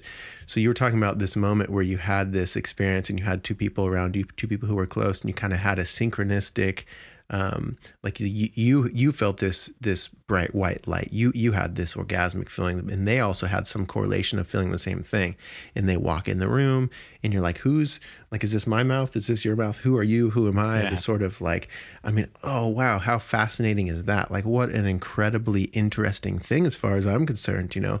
Um, have you and what do you think about the uh, have you heard of like joe dispenza's retreats um, mm-hmm. If you heard of Joe Dispenza, so so he, I mean, it, I don't know how exactly to put it, but I think that he's basically having giant like convention center level retreats multiple days long where he's activating people's kundalini um, and, and not just him you know i'm sure these people their life has led them to these this is like maybe like a self-help sort of seminar. If anybody who's listening has heard of Tony Robbins, um, I think it's it's kind of up there with that. I think Joe Dispenza is a little more esoteric and, and a bit more intense. But Brent, what, what do you think, um, based off of your spiritual experience, what you've read, what you've gone through personally? What do you think about this fascinating thing? You know, we're having retreats of people coming together to um, whether intentionally or not, if that's the word they use, but kind of awaken their kundalini. Like, I mean, what, what do you think about that? And, and how much have you heard about any of that?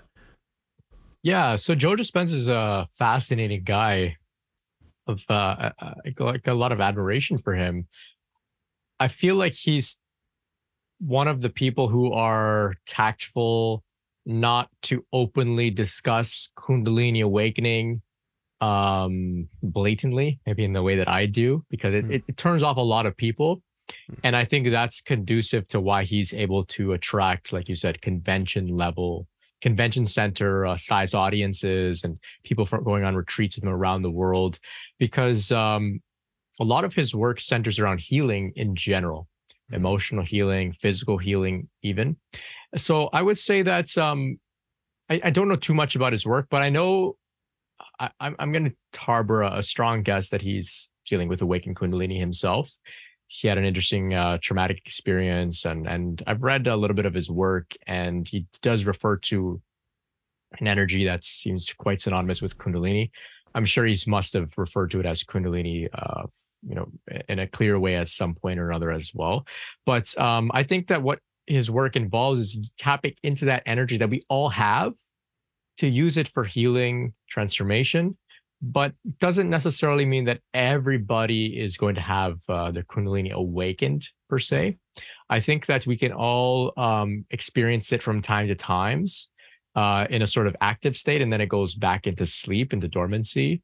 Um, So it's kind of like a stirring of it or a stimulation of it, or um, tapping into, um, you know, there's different ways we could look at it, like uh, the life force or the chi, and using that to facilitate some form of transformation. But um, I don't know if he approaches it as like a directly and obvious, like Kundalini awakening event. Hmm. But there are some that do. Um, there are, some that uh, you know serve as like um, at least if they're operating in a sort of Indian uh, tradition, they would call themselves a guru, and uh, some offer what's called Shaktipat, which is a transmission of Shakti, which is synonymous with Kundalini. It's this transmission of the spiritual power from uh, the guru to the aspirant, and this can serve to awaken another's Kundalini. So, in the same way that uh, my friends and I had that shared sort of experience, it's because like this, our energy is contagious. You know, even if you're sad, right? It's it's it's radiating outwards, and we can pick up on it. And so, if you're in a high state of consciousness, others can also pick up on it. And if they're receptive and open, they can begin to vibrate with you. The nervous system can begin to uh, become co-regulated with you, mm. and they can experience their own energetic shifts within their own nervous system, within their own chakras. And for some, that can lead to a full blown Kundalini awakening. For others, it can be a temporary state of expanded consciousness that then re- they return back to an ordinary state later on. Um, it varies greatly across the board. It all depends on uh, what a person brings to the table in terms of you know the type of work that they've done in the past uh, their openness, their receptiveness, the themes that they're exploring in their life, um, what their uh, you know their mission is in life as well. Not everybody's meant to have a Kundalini awakening and become a Kundalini podcaster or something, right?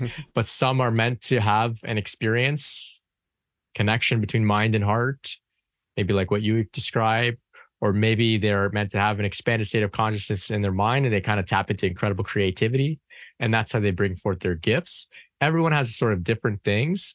Um, but there are some events like that. I would also just say, as a preface, uh, not a preface, a disclaimer, you know, some people offer these Shaktipat transmissions, or they may are they might advertise that they're going to awaken your Kundalini, and uh, they may genuinely have some spiritual um, skills, but that doesn't mean that uh, you know in a weekend you're going to become enlightened it doesn't mean that those people are also beyond taking advantage of you because some people mm-hmm. with great spiritual development um, still have unaddressed wounds and tendencies and it can lead to uh, uh, toxic dynamics. Um, you know you can quite literally call it you know it can lead to, to abusive cults you could say. So it's important that everyone uses their discernment um, but that doesn't mean we avoid those places you know. Like I, like I said i was enjoying the transmission from uh, guys like Ram Dass, David Spero, Matt Kahn through YouTube, mm-hmm. through YouTube. So, uh, like I said, you know, the, the energy is, is contagious and it's not limited to the, the material world. It can be transmitted through a text message even. Mm, yeah, absolutely. Yeah, I think that's a very fascinating thing to point out too. Is is uh, I mean, it's really kind of you know in in the uh, you know Eastern philosophy. There's we'll hear about um, saints where people will you know line up to meet these people. We have uh, Amma, the hugging saint. If you if you've heard of her, um, yeah. I've heard for, uh, experiences of people you know, like not really believing in that sort of thing, but then they go there and they're in her vicinity and they're just like, it's undeniable. Like there's just this thing where you just love this woman. Like you're just, you just feel intense love when you're around this. And uh, yeah, for anybody listening, you could pretty much, this is a saint. Uh, she's still alive today, actually. Um, uh, and she, she's called the hugging saint because she just lines up for countless, countless hours. I mean, I think it's, they have like I feel like I've heard people mention that she does multiple days or like at least a day straight where she doesn't like sit, she doesn't get up and use the restroom or anything. She just, yeah. one person after the next gets to hug her and they feel this intense bliss and it's, she's present with every single person and she'll be, you know, uh, like matching their energy and, and, um, yeah. So, the, so it's, so it's interesting, uh, that we have these beings, um, and, and where all these beings too is, is what's actually very interesting, um, that, we almost have like um, have an influence on other people's energy. You know, we have um, uh, th- there's like a permission to see some form of truth with some versions of the spiritual path. Um, and I think, uh, yeah, I, I, guess I brought up the um, Joe Dispenza thing um, because, yeah, whether they use the language or not, that kind of seems like what they're doing. Like I, again, before I really knew much about Kundalini or anything about Kundalini, I was doing some uh, just like guided meditations from Joe Dispenza, um, and you know you're you're kind of intentionally like squeezing these different areas of your body um, and you're kind of like imagining things going up through your head so i think that i don't think that he's trying to like cause massive kundalini awakenings but uh, he certainly is you know it's it's yeah. through through the realm of healing you know but but I will say you know it's that's why I'm I'm so I'm grateful for your work I'm grateful for people like you who are um, you know you're just you're peppering your YouTube channel with just such perfect tools to use along the way you know so like maybe people who have listened to your channel um, are coming to you from reading Joe Dispenza's work, or not, um, you know, not even just him, just these various teachers who are, um, um, you know, expediting the spiritual process along the way, and you come out the other side, and you're like, dude, what is happening? Because uh, in, in, the Western yeah. world, we don't have a lot of this language, like we said in the beginning, is hidden behind um, religious and spiritual texts, and a lot of our modern ways of speaking about these things is very like, whoa, keep keep that woo woo stuff away from me or keep that religious stuff away from me but there's there's a lot of wonderful stuff in it you know and so um, me as someone growing up I think I would be, you know, like a self-diagnosed agnostic or, or some sort of like atheist without really ever thinking deeply about it. I just like to call myself that, um, uh, you know. And I started going through all these experiences myself, and um, I think maybe maybe I could have helped myself more along the way if I um, if I had a you know childhood and upbringing and teenage years where where I read these sorts of, of books that I find fascinating and wonderful now. Um, there's just a lot of good, juicy, real human, energetic slash being uh, a grounded human being. Uh, it, it, meshes very well in in, in that realm. Um, right. Yeah. So, um, yeah, I, I, don't know. Did, did you have any more thoughts on that, Brent? Did you have any more? Um...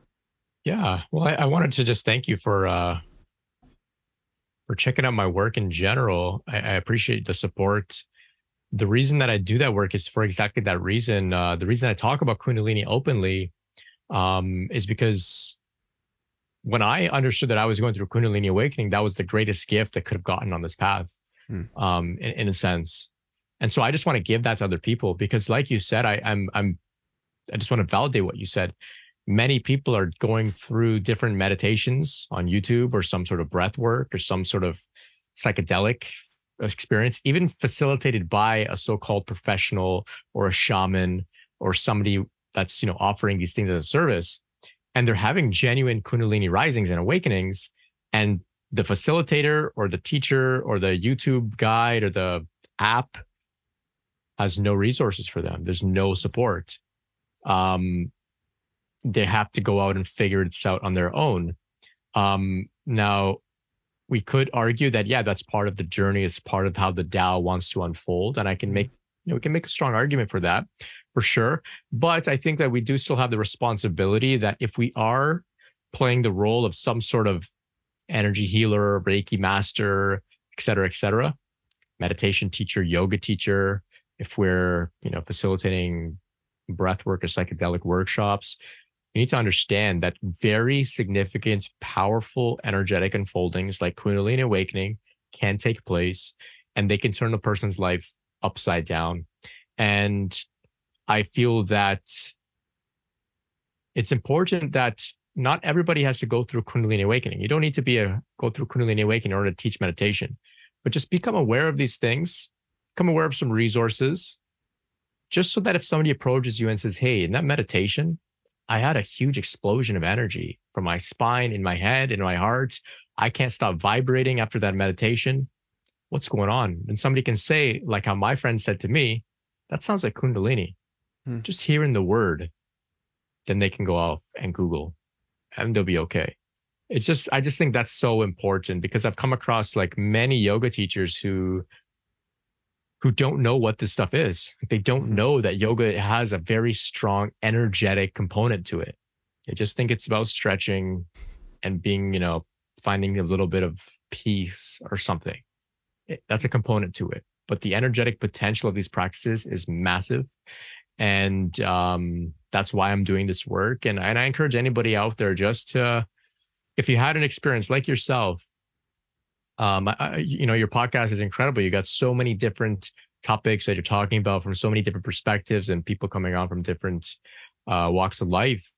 But you still mention Kundalini here and there in your process and your awakening and how you're going through this. That alone, these little hints just get the conversation going. It's out in the zeitgeist of our conversation collectively. It's a known thing now, right? So somebody listening to your podcast that's interested in maybe the you know your experiences with uh, mental health they may hear something that you're talking about awakening. They may say, whoa, whoa, whoa, whoa, what's this guy talking about? This kind of happened to me. Finally, I have a words to describe what I've experienced. So the more we get it out there here and there, the more people have a little bit of breadcrumb to pick up. It's like, you know, if I can just like belabor this thing, it's like, you know, putting a little bit of like flags in a forest that mark the way out if mm-hmm. somebody gets lost. They see a flag, they're like, okay, I can find my way now. It's like that. So that's my intention with this work because, you know, it's powerful, profound, transformative stuff. And we need to raise awareness. We need to raise awareness. I think that's where the collective is going because more people are, are going to be going through these shifts, more and more people.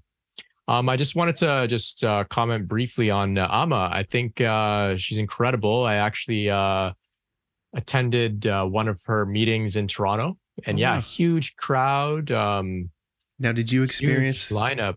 Did, did you yeah. did you hug her or did you experience like the energy like I was mentioning? Yeah, yeah. So I mean, even just being within the vicinity of that place, there is a palpable uh, field, energetic field that she is, you know, radiating. Um, I think it goes in conjunction with the people that are attracted to her as well. We're all collectively radiating a very uh, high vibratory energetic field, you could say. And uh, yeah, so I went uh, up for a hug. Uh, I had gone with my with my current girl, my current girlfriend, um, a few years ago, and she'll hug individuals, and she also will hug couples together. Hmm. And so I went up with my girlfriend, and the host, um, you know, one of her her helpers there, uh, ushered me to get a hug.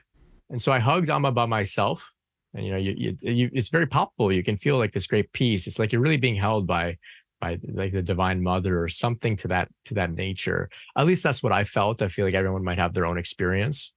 And then the uh, helper recognized that oh this woman is his partner. All right send her up. Give them both a hug together. So i got a two hugs out of it. So i got to hug uh, hug her with my with my girlfriend as well. So uh, it was a special experience for sure. It was uh it was exciting. And and and she you know gives a, a talk um uh, so sort of a satsang to the, the big group.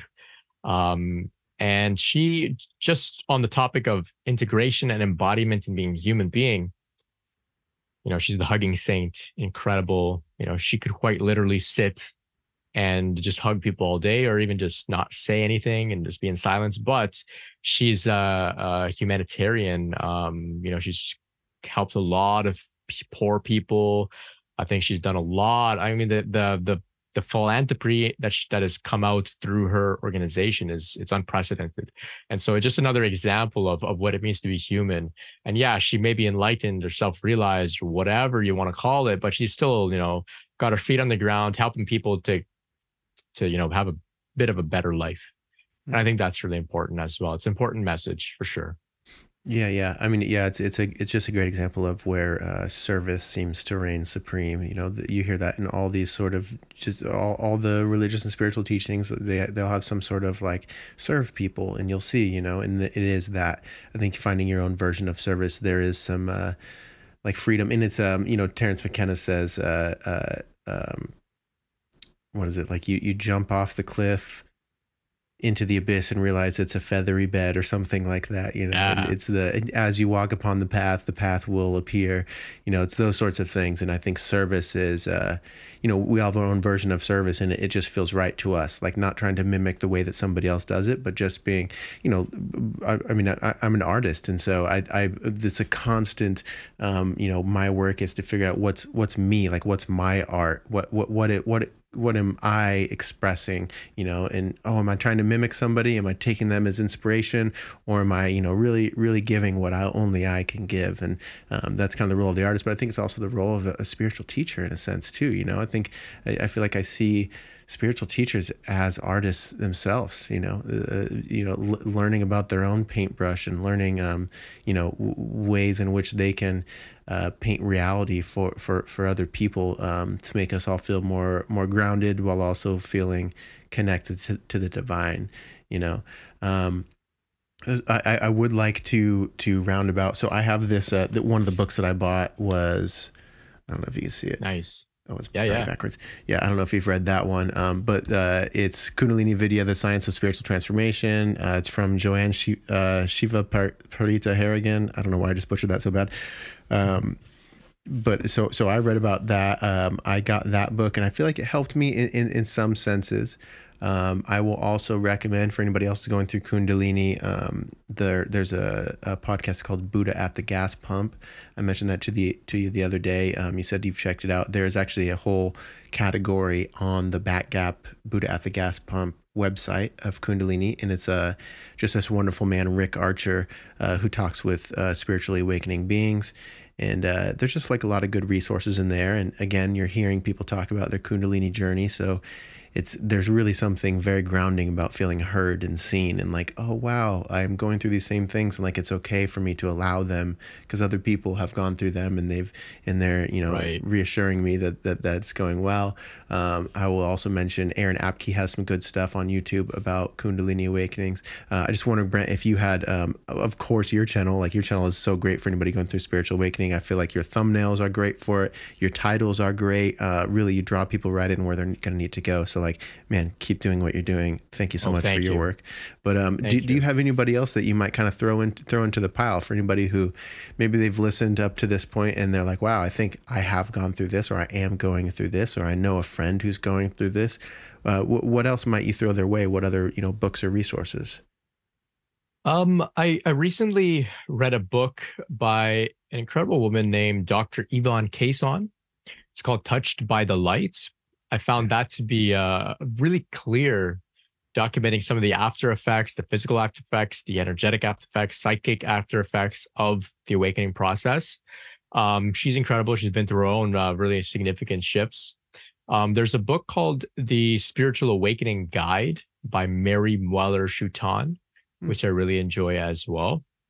Uh, especially after the major shifts uh, on the mind level, like how I described earlier on in my journey, that massive awakening in my mind, seeing you know non-duality or the shift out of ego and no self. I found the work by Adyashanti to be very, very uh, useful for me. So he has a book called "The End of Your World: Uncensored Straight Talk on the Nature of Enlightenment." Hmm. And so he speaks about uh, integration and embodiment uh, in, in that book in in uh, really clear ways. He is another teacher that doesn't openly talk about Kundalini, but from from what I understand, he he's been through Kundalini awakening. It's not uh, within uh, the the wording that he uses often, um, but it's there. And you know, there there's many teachers that have gone through it that don't don't talk about it openly, um, because of course it's it's polarizing uh, and scary for some. It can turn some people off. Um, let me see here. Um, I love, um, of course, uh, the power of now. Uh, the work by Matt Kahn has been very incredible for me to uh, to lay the foundation for what it means to unconditionally love. I found Matt Kahn's work uh, to really be incredible, and uh, for a bit of a, uh, I guess I could say light, enjoyable read. Uh, Ram Dass is "Be Here Now." oh yeah Uh, a plus, yeah, incredible, incredible. Yeah. yeah Yeah, I, I love how you mentioned, um, you know, not a lot of these people really, they don't use the same terminologies. They're not always talking about Kundalini awakening, but I think once you kind of have a grasp of what it is, um, you, you can hear a lot of these spiritual, uh, you know, conversations are kind of talking about Kundalini awakening. I've heard, um, I don't think it was you, I've heard somebody talking about how, uh, you know, a very, like if you imagine in your mind, a very, um, Christian, uh, like older lady uh, who you know maybe her her hobby is knitting, uh, and maybe I'm maybe I'm pulling this from a Ram Dass talk actually, but uh, like she she has she may have gone through a very profound Kundalini awakening, but she would never use those terminologies. She would use, um, you know, Christ-like consciousness, or, or she, you know, probably wouldn't even say that, but um, she she would. There's many different ways of describing this experience you know? And i think kundalini in a lot of ways is just another way. It's another way that we can gain information and um, so, some grounding. And you know i think if you're listening and and this sounds like you know enticing to you maybe that's your your path of learning what's going on in, in your experiences.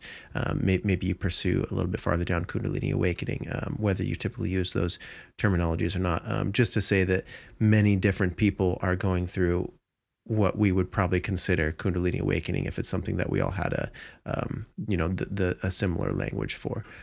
So, yeah. Um, well said. Yeah. Uh, so, man, I, I think we're getting up here in time. I would love to wrap it up. Um, I would love. Uh, uh, of course, please mention where to find you I will link things um, in, in, the description, of course, but I would, would love one more thing, just whatever pops into your mind. Um, for anybody listening who is going through a Kundalini awakening or has going through a Kundalini awakening, or they're just on the spiritual path, uh, do you have a message for them? Do, do, you have anything that comes to mind? Like what, what um, speak to these people who are on the awakening path. Anything pop into your mind, Brent? Yeah, I feel like saying, you know, one step at a time. When things are difficult, just be with that one step, that one difficult step. When things are going great, you can also recognize that you are you're walking, you're moving. Even the great things may change as you continue forward. So you enjoy those things, but be mindful as well that uh, nothing lasts, good or bad, one step at a time. Be fully present with whatever's whatever's there, the difficult things, the uh, exciting things, the mystical things. Um, I like to think of it as, uh, as a journey. Um, part of my aim is to really squash the idea that there's ever a finish line. No mm. finish line, not in my view. We keep going and and uh, exploring new things and and revisiting things in new ways and and no matter what you're going through, it's all welcome unconditionally, mm. unconditionally the real deal spiritual path with an open heart does not push anything away. Nothing at all. It's all welcome here. Yeah. So beautifully said. So beautifully said. Yeah. Uh, uh, yeah. Allow it. Allow it. Mm. That's absolutely beautiful. Um, all right, man. Uh, r- real quick, drop where, where to find you at. You're under Brent Spear on on Instagram and, and YouTube and everything. Yeah. Yeah, Brent Spirit. Yeah. And uh, you can also find me on my website, brentspirit.com. Uh, I've got my podcast on uh, Spotify and Apple. It's called The Spiritual Awakening Show. Excellent. Cool. Definitely check that out. Um, Brent, thank you so much for your time. Again, I will link all those sorts of things. And um, man, certainly stay in touch. I, I, really love talking to you, man. And I really love uh, just consuming your work. And um, I, I love, you know, as, as I'm scrolling through on, on Instagram and stuff, just seeing, seeing your clips. So please keep doing what you're doing. And, and thank you so much for doing it. Oh, thank you. You're so, so welcome. And right back at you, man. Keep doing what you're doing. I've been uh, listening to some of your music, spoken word cool stuff, man. I really had a great time today. So thank you. Thank you so much. Cool. Excellent, man. We'll be in touch. I'll let you know. Um, I'll tag you in clips and whatnot as, as I make them. And then once I drop the episode, I'll shoot you a message. Okay. Sweet. All right. Take care now. Cool. Love yourself, everybody. Peace out. Much love. Peace. Hello and welcome to the Junkyard Love Podcast.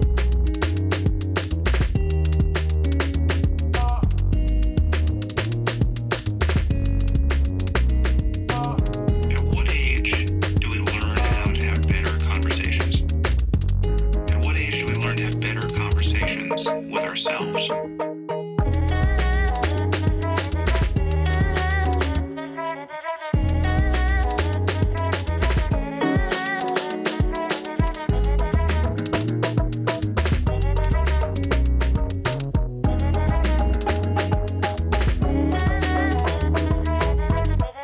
Knowledge is power.